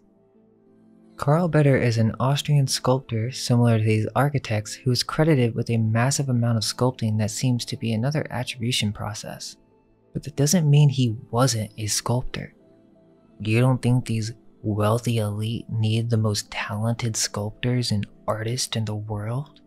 Well, come to find out, Karl Bitter is just another royal family upbringing. He was trained for this in Vienna. Okay, so where do we start? There's this part of the trip where you go into the biggest room and we get to take photos up close to really look at this. Now, look at the size of this fireplace. Look at this Roman Greco relief that is placed here and is that a symbol? Right on the massive fireplace is a coat of arms. When I asked the guide, hey, is that a knight's helmet? And he said, hmm, I never really thought about that. Yes, that's what it looks like, but don't quote me or take my word. That's what he said, and he's in the building every day. Let me show you. There's no question on what that symbol is. What is it doing in this banquet hall or opera? As, yeah, there's also a massive organ in this room that originally had pipes, but they had installed new ones so that they could automate it and all this stuff. But, so, why do you have the headless knight, an organ, massive Dutch tapestries that are 400 years old. And honestly, they really do look real to me.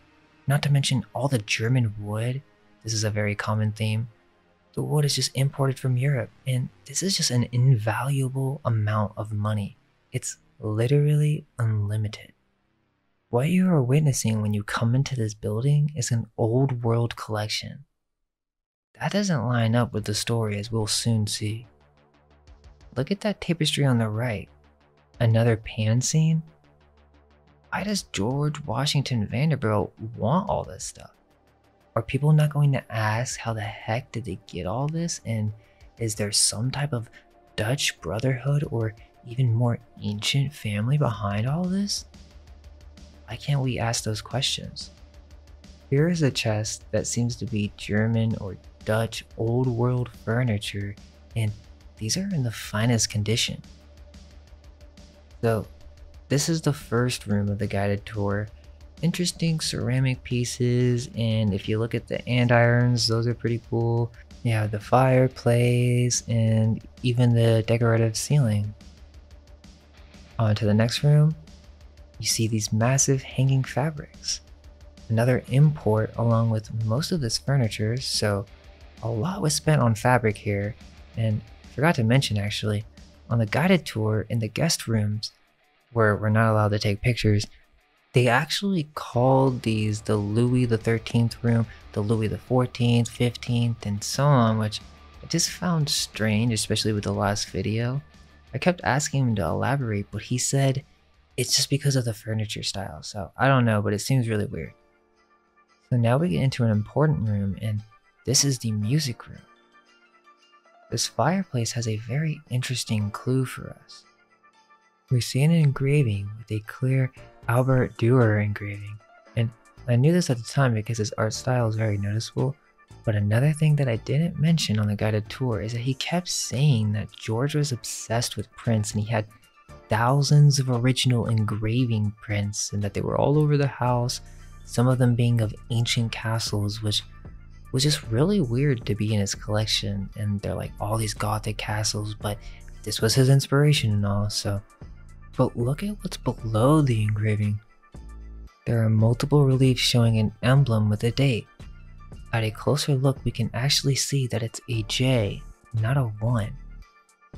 Whoa, wait, you're telling me that George Washington Vanderbilt had studied so much art history and symbolism to such a degree that he was even aware of how they used to put J's instead of a 1? Why would he want to get this built in unless there's something else going on?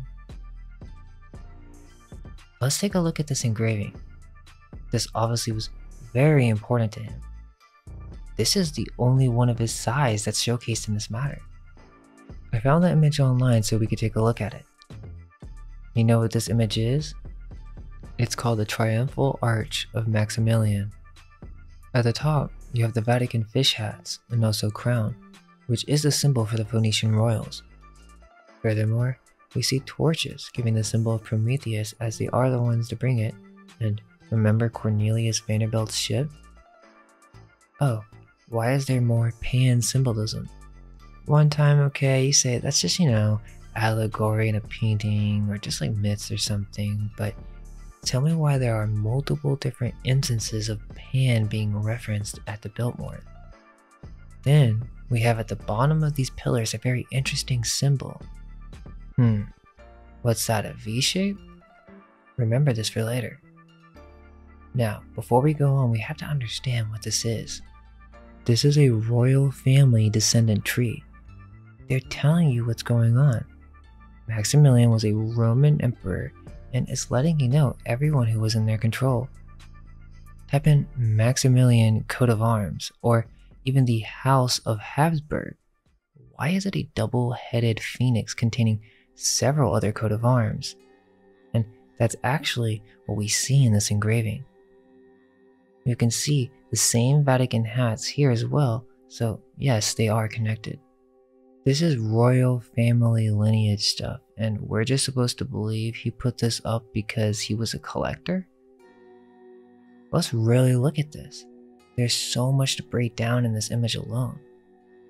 What do you see? The emperor in the center, Venice with the lions on each side, but also the double headed phoenix, meaning they control both sides. To the left and right, you see all the different countries they own. These are all servicing the main emperor. They are not individual nations. For some reason, we're taught that in history, yet, no, they still had control over these nations in the 1500s. Look at the griffins.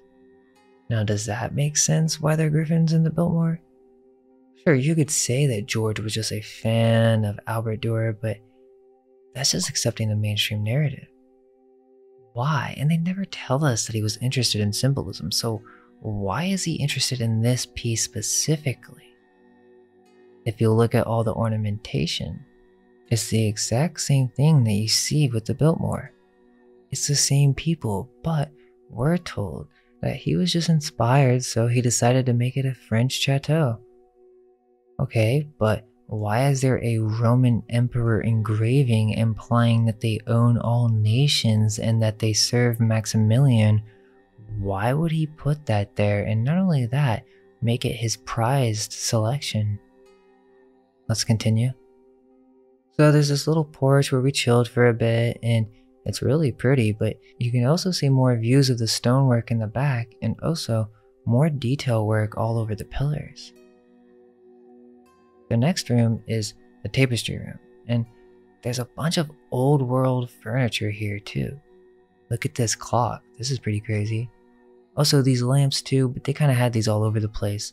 But I was really impressed by this German wood. I just thought it was insane, and the cost just had to be unimaginable because these are hundreds of years old. These tapestries are 300 years old, they tell us, and they show these really weird scenes, either biblical, mythical, or showing emperors. Now, I think I should mention this. There's a lot of stag symbolism. Now, I didn't capture all the instances, but in the main opera room with the organ, there was a lot of deer symbolism, or the stag, which is really weird because outside the Biltmore is a place called the Grand Bohemian. Now, if you remember from our little history lesson, this should trigger an alarm. Not only is it right in front of the entrance, their symbol is the red stag. The stag is also the symbol for Hennessy, which has its own coat of arms. So, in this room, we get more stag symbolism. For some reason, it seems that George was very fond of this deer symbolism, hence the name Deer Park. This tapestry with the sun and also the early Christian Chi Rho seems weird to be promoting all this elite symbolism on these tapestries in your just hunting resort.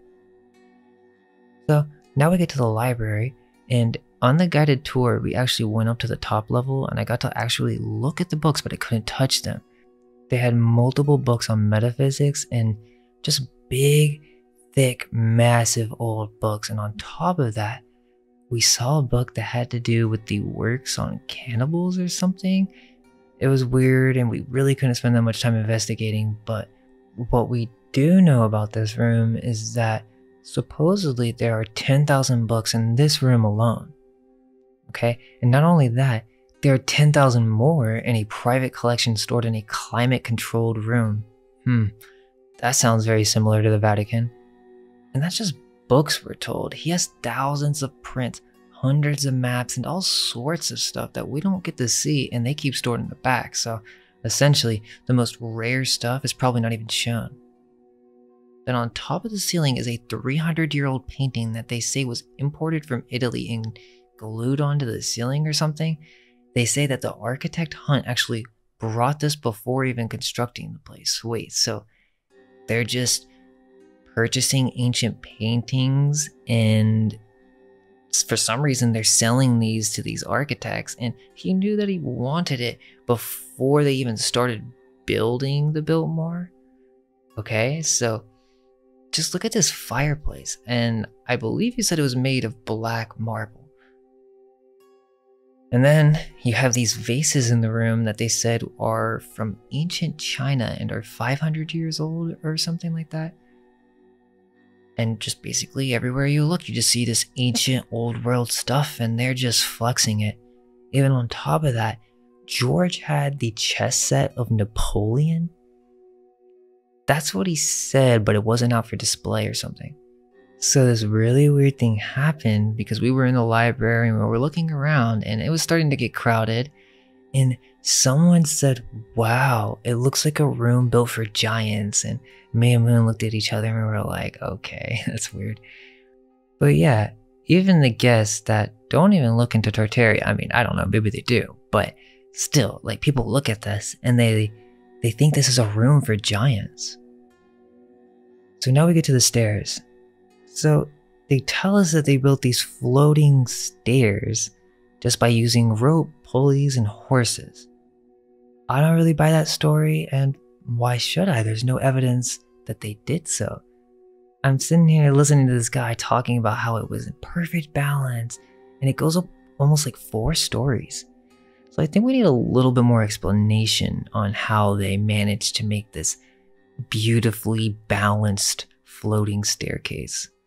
But no, we continue through a bunch of more things that aren't necessarily worth showing as it kind of becomes guest rooms on the second floor, but there was this weird thing where the tour guide said that they had the Ark of the Covenant. And then he's like, ah, just kidding. But they had this replica of the Ark of the Covenant. And I'm over here thinking, like, wait, why? Why do they have this? And has lion feet on it, has all these ancient symbols. And I'm just like, okay, they had to know about ancient tech or something. So to continue, before coming to the Biltmore, I was told by many that there are actually several underground tunnels there in multiple areas. There's this underground tunnel all the way at the winery, which is miles away. This entire Biltmore features the largest basement in the United States, and both buildings feature tunnels that connect to each other's below ground level.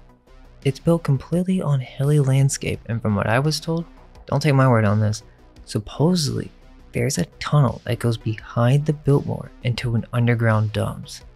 I was told this by many different people, and also with the news report we showed earlier, they were mentioning that there was tunnels that went to the Biltmore.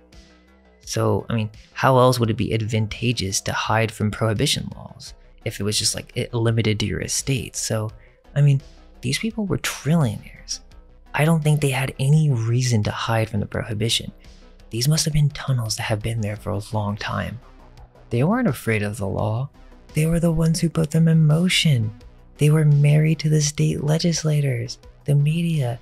This is the oil oligarchy, the royal family with ancient origins. They don't care about no prohibition. This is not why the tunnels were built. The reason is, these are actually the lower levels of the building that did not go through the same renovation that the upper portions did. After coming back down the stairs, you actually can go to the basement. We weren't really sure about this. So, you walk down this creepy underground tunnel, kind of strange feeling. And guys, I'm not going over any of that stuff, but I mean, it kind of ties in here. But you guys know that no really reason to cover it. But yeah, this leads to the bowling alley and the underground pool. Now, here you can go and walk right beneath the building, but it seems very strange to me that there's no explanation on the creation of the basement. Or if it even goes further down, how do we know? We know that they built secret passages all around the house, so they were secretive. How do we know that what they are telling us is the truth? So, you know where these tunnels lead to? After you finish the tour and you're underneath the building, which deserves to have some honest questions. Instead, you're led to the programming room, which is kind of creepy because it's painted very weirdly, and I have no idea why it was this way in comparison to the rest of the house or why they have the photos down here. But this is where they begin to program you with the narrative that they want you to believe. Do you really think that's all there is to this story? that what they tell us is the only story that we need to know? Well, if that's good for you, then there you go. That's theory number one, because the truth is, none of us truly know the answer. The first option is that they're not lying.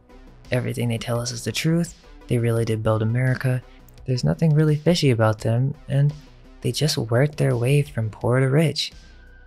That's the theory, which you already knew, so I'm not sure why you watched this entire video for me to just tell you that. When you go there, they're gonna have explanations. The people who walk into the bookstore are people who are curious on the origins.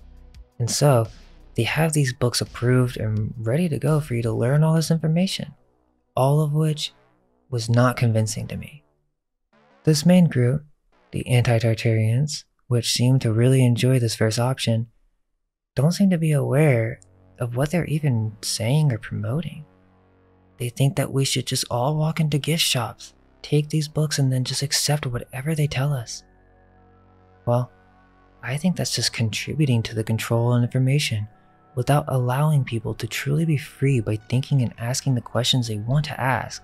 But instead, they will repeat whatever the authorities tell us and then mock others for trying to get to the bottom of things. Most of these people are not taking into consideration many of the points I bring up, such as the royal coat of arms, symbolism, waste management, fake and altered historical narratives such as Columbus being the first to discover America, and also, like I showed, the secret connections of brotherhoods that seem to be behind all these architectures as evident by the coat of arms. This requires comparative skills that some are not willing to go into, even when it comes to the occult. Therefore, they conclude that some basic construction photos that show just a few stages are all the proof they need. Well, it's not enough for me. Not only is it not enough, I don't really trust a word they say. I don't see why we should trust any of them. I feel like I've been fair, addressed the counter argument. Is it not possible that these are staged events? That this could have been orchestrated or planned?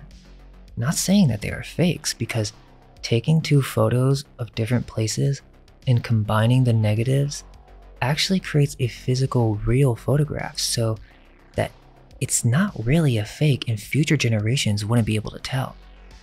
Again, I'm not saying this was done, no one knows. We only know what they left us with. But we'll make this clear. In 90% of the case, this is the mainstream argument and the only point of those who object to this building having anything to do with Tartaria. Here it is. There's construction photos. That's the only point. But are you guys being fair? Are you covering the true history of the robber barons? Why should we trust them? Literally, the elite were hanging out with them, royalty in Europe. Well, I don't see why we should trust them, and so here's option two. It's a lie. Yeah, they're just lying straight through their teeth. Go through the biographies, as we just did, and really tell me that nothing is up for question. What about the Dutch connection? Is there a Venetian connection? A Phoenician connection? Remember that V we were looking at earlier in the Biltmore? They said that this stood for the Vanderbilts, right?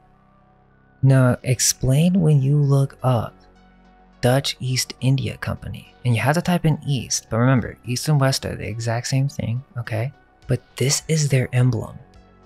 Look at this. It's a V, okay? And you know what the V stands for? The V stands for United. Hmm. But not only that, remember all the stag symbolism? Look at the coat of arms I found. You don't think there's a connection? Why do they all have the same royal coat of arms? Remember that headless knight? Look at it here. And we know that the Vanderbilts built America, made steamboat travel popular, and connected all the railroads. And we know that the Vanderbilts have Dutch origins in New Netherlands, which used to be old New York area, but it's actually underplayed and was far greater. It was the foundation of the United States the Dutch East India Company were the true founders of the Corporation of the United States. This is why we don't learn too much about them.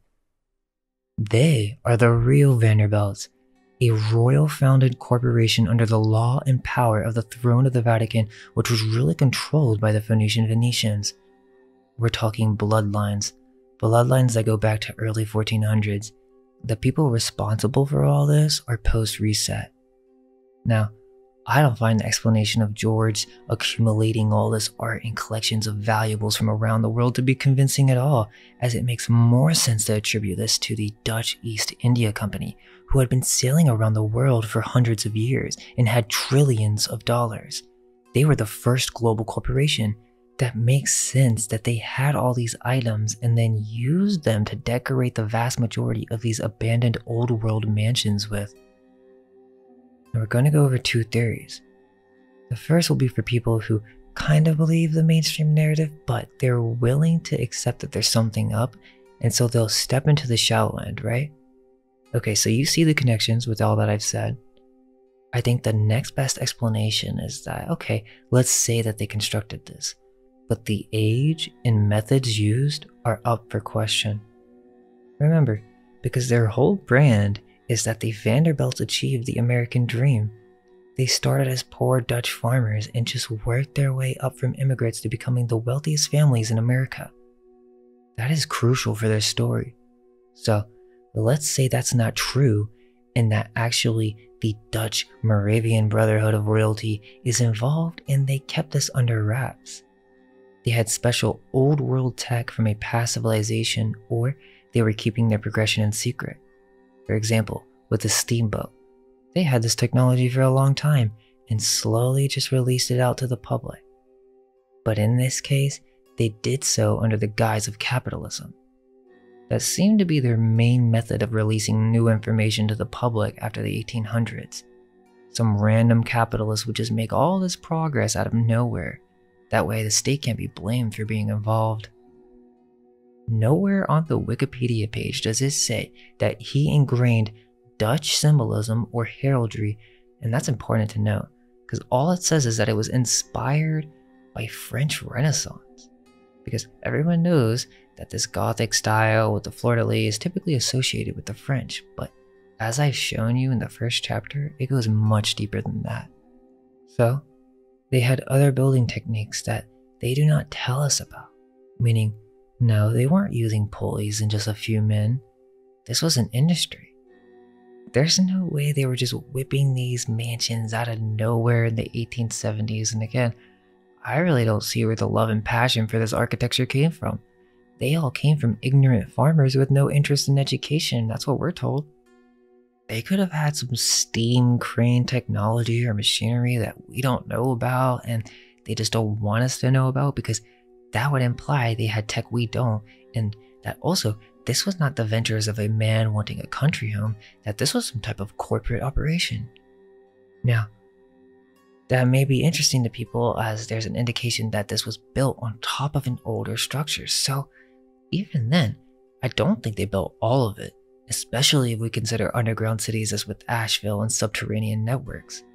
We also know that the Dutch hired explorers to go find new ventures. So, they would look for abandoned and ruined old world structures for them to go on these huge renovation projects. Which, we get to the final theory, which is my thoughts. I think they're liars. After comparing and contrasting, I don't think they considered that people would be able to see their fingerprints. I think the story of the robber barons is BS. I think the story involving the Dutch East India Company is highly exaggerated. Why should we believe them? If they're the ones behind all this, I got some serious questions, which is why is this not known about? Well, it's because there was a reset, most likely within the last 500 years, in which an old world civilization went through multiple periods of systematic cataclysm to the point of it being possibly a contrived event. These cataclysms caused earthquakes, floods, mudslides, and even comets that would be a sign of these dark times. The power of the old world was shifted into the Jesuits, who were in control of Rome, and the Vatican slowly moving their power across Europe and making their domination known. Their powerhouse became Venice as they began to rediscover many of the lost arts and sciences of the past age. They needed to begin disseminating this information to the public, but they needed to put their initials on it because there couldn't be any knowledge of the old world. This was the book burnings. They erased the past and decided the world would be created anew the new world, the new Atlantis. And so, Venice expanded into multiple powerhouses and brotherhoods throughout all of Europe, forming their own cults to please their master, which really goes back to the Canaanites, Baal. This is their true god, as these people were inversionist. They began giving titles to the bloodline families that had been created through intermingling, and these people were complete idiots. These are the people who began getting all the palaces and chateaus in Europe, right? And they would just shit all over them and act a fool like Marquis de Sade. They were totally fine with it because they were dark occultists. They had no intention on lifting humanity, but they wanted to enslave them Look at the first global corporation, started in America. They are the Dutch. The Vanderbilts are Dutch. We aren't going to ask any questions. How easy would it be to just make up all these figures? And remember, they have the burden of proof. All I have to say is I'm not convinced, and rightfully so, as there are barely any details on these people. And as when it comes to the Commodore, he even refused to speak in public. How do we truly know these people existed? Letters, pictures, okay, all of that can be fabricated by maniac trillionaires with a mission to control. So, these Vanderbilts, once moving from converting from Dutch and they became English, they still kept their Dutch connections, but they'd never really tell you that in the documentaries. They don't want you to know that these people were a part of a club, the New York Club of Wealthy American Aristocrats, which, out of nowhere and all of a sudden, decide to create architecture that hasn't been created in hundreds of years, and really no other nation is doing anything like this in the same amount of time. As I said with Fifth Avenue, I don't believe that story at all, and these were done in almost a decade and then demolished. Um, and then the same thing with the World Fair, all of us in three years. Or we just accept the official history of Asheville and not wonder how they built all these subterranean networks that connected the city. How did they build all these buildings in such a short time period? Something isn't adding up. I believe the Biltmore to be an old world Tartarian mansion I don't think these Phoenician hijackers can build with sacred symmetry at all.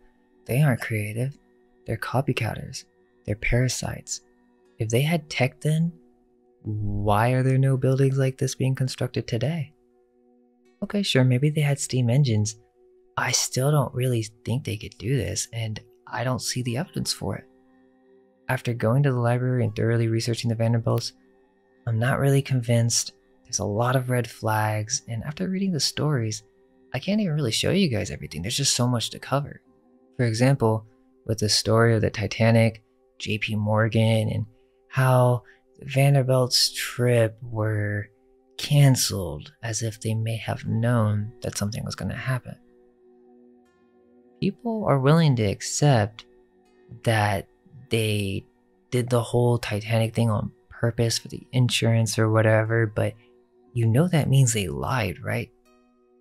These people are scummy business people. Why should we believe the biographers? Why should we believe the media and not think it has anything to do with propaganda? Then people know all about the bloodlines, right? Freemason bloodlines, and this actually connects with the coat of arms again, but people are willing to accept that. But what I'm saying is too far. What I think is that these people are defacers. They are renovators, not builders. So, yeah, it required sculptors, and yes, I do think they had talented artists. I know we had the video on ancient petrification, but that doesn't mean there weren't extremely talented artists at this time. And I do think they sculpted the fake facades as this was a part of turning the old world Tartarian buildings into a more modern look. Otherwise, it would be blatantly obvious how old this thing was. You know, there was this overall darkness because I kind of realized that ancient art and architecture was being used to continually facilitate these families' ever expanding growth and wealth. Don't get me wrong, I was in awe when I saw it, but there was a feeling that something wasn't right. The ability to continually profit off of this is insane, and I can't even imagine how much the Biltmore makes in a day. But overall, I do want to say I highly recommend going to the Biltmore. This isn't a promotion or anything, but my review is I enjoyed it, we both enjoyed it. Everyone should go. They were really nice people, everybody, so please don't go there causing any type of trouble or anything. Many of these workers, they really just don't know. And I believe even the surviving Vanderbilts, they don't know either. At this point, everything is up for question. But the guy told me that the current Vanderbilt owners were just like normal people who came in wearing normal clothing to blend in, which I kind of think may have some truth to it. Because, like many of these elites that get these remaining architectures, most likely don't know what's going on either. They were just transported here and given their own narratives. And same goes for the modern Freemasons and politicians. They don't know the full history or narrative. There's levels to this, there's historical programming, and this just happens from the day we're born. The Biltmore is literally a collection of old world art. And like I said, I believe it to be an old world Tartarian structure. So tell me, what do you think? Do you believe the mainstream narrative? Is there a connection to the Dutch East India Company and all their other ventures? What's with all the coat of arms? Do you think that's worth noting? Do you trust the robber baron story? I mean, we're told they are the enemy. What do you think about the Biltmore? Do you guys have any more details about Asheville that'd be interesting? I appreciate everyone who's gotten this far, and thank you so much for everyone who supports us. We really enjoyed this trip, and we'd like to continue exploring old world buildings for you guys. And all you have to do is really just tell your friends. Tell your friends all about us. And so, with that, I hope you enjoyed this one, and all we can hope is that our minds may be unveiled. Let go of everything you think to be true. Relax the mind and ask the question Do I truly understand what this reality is?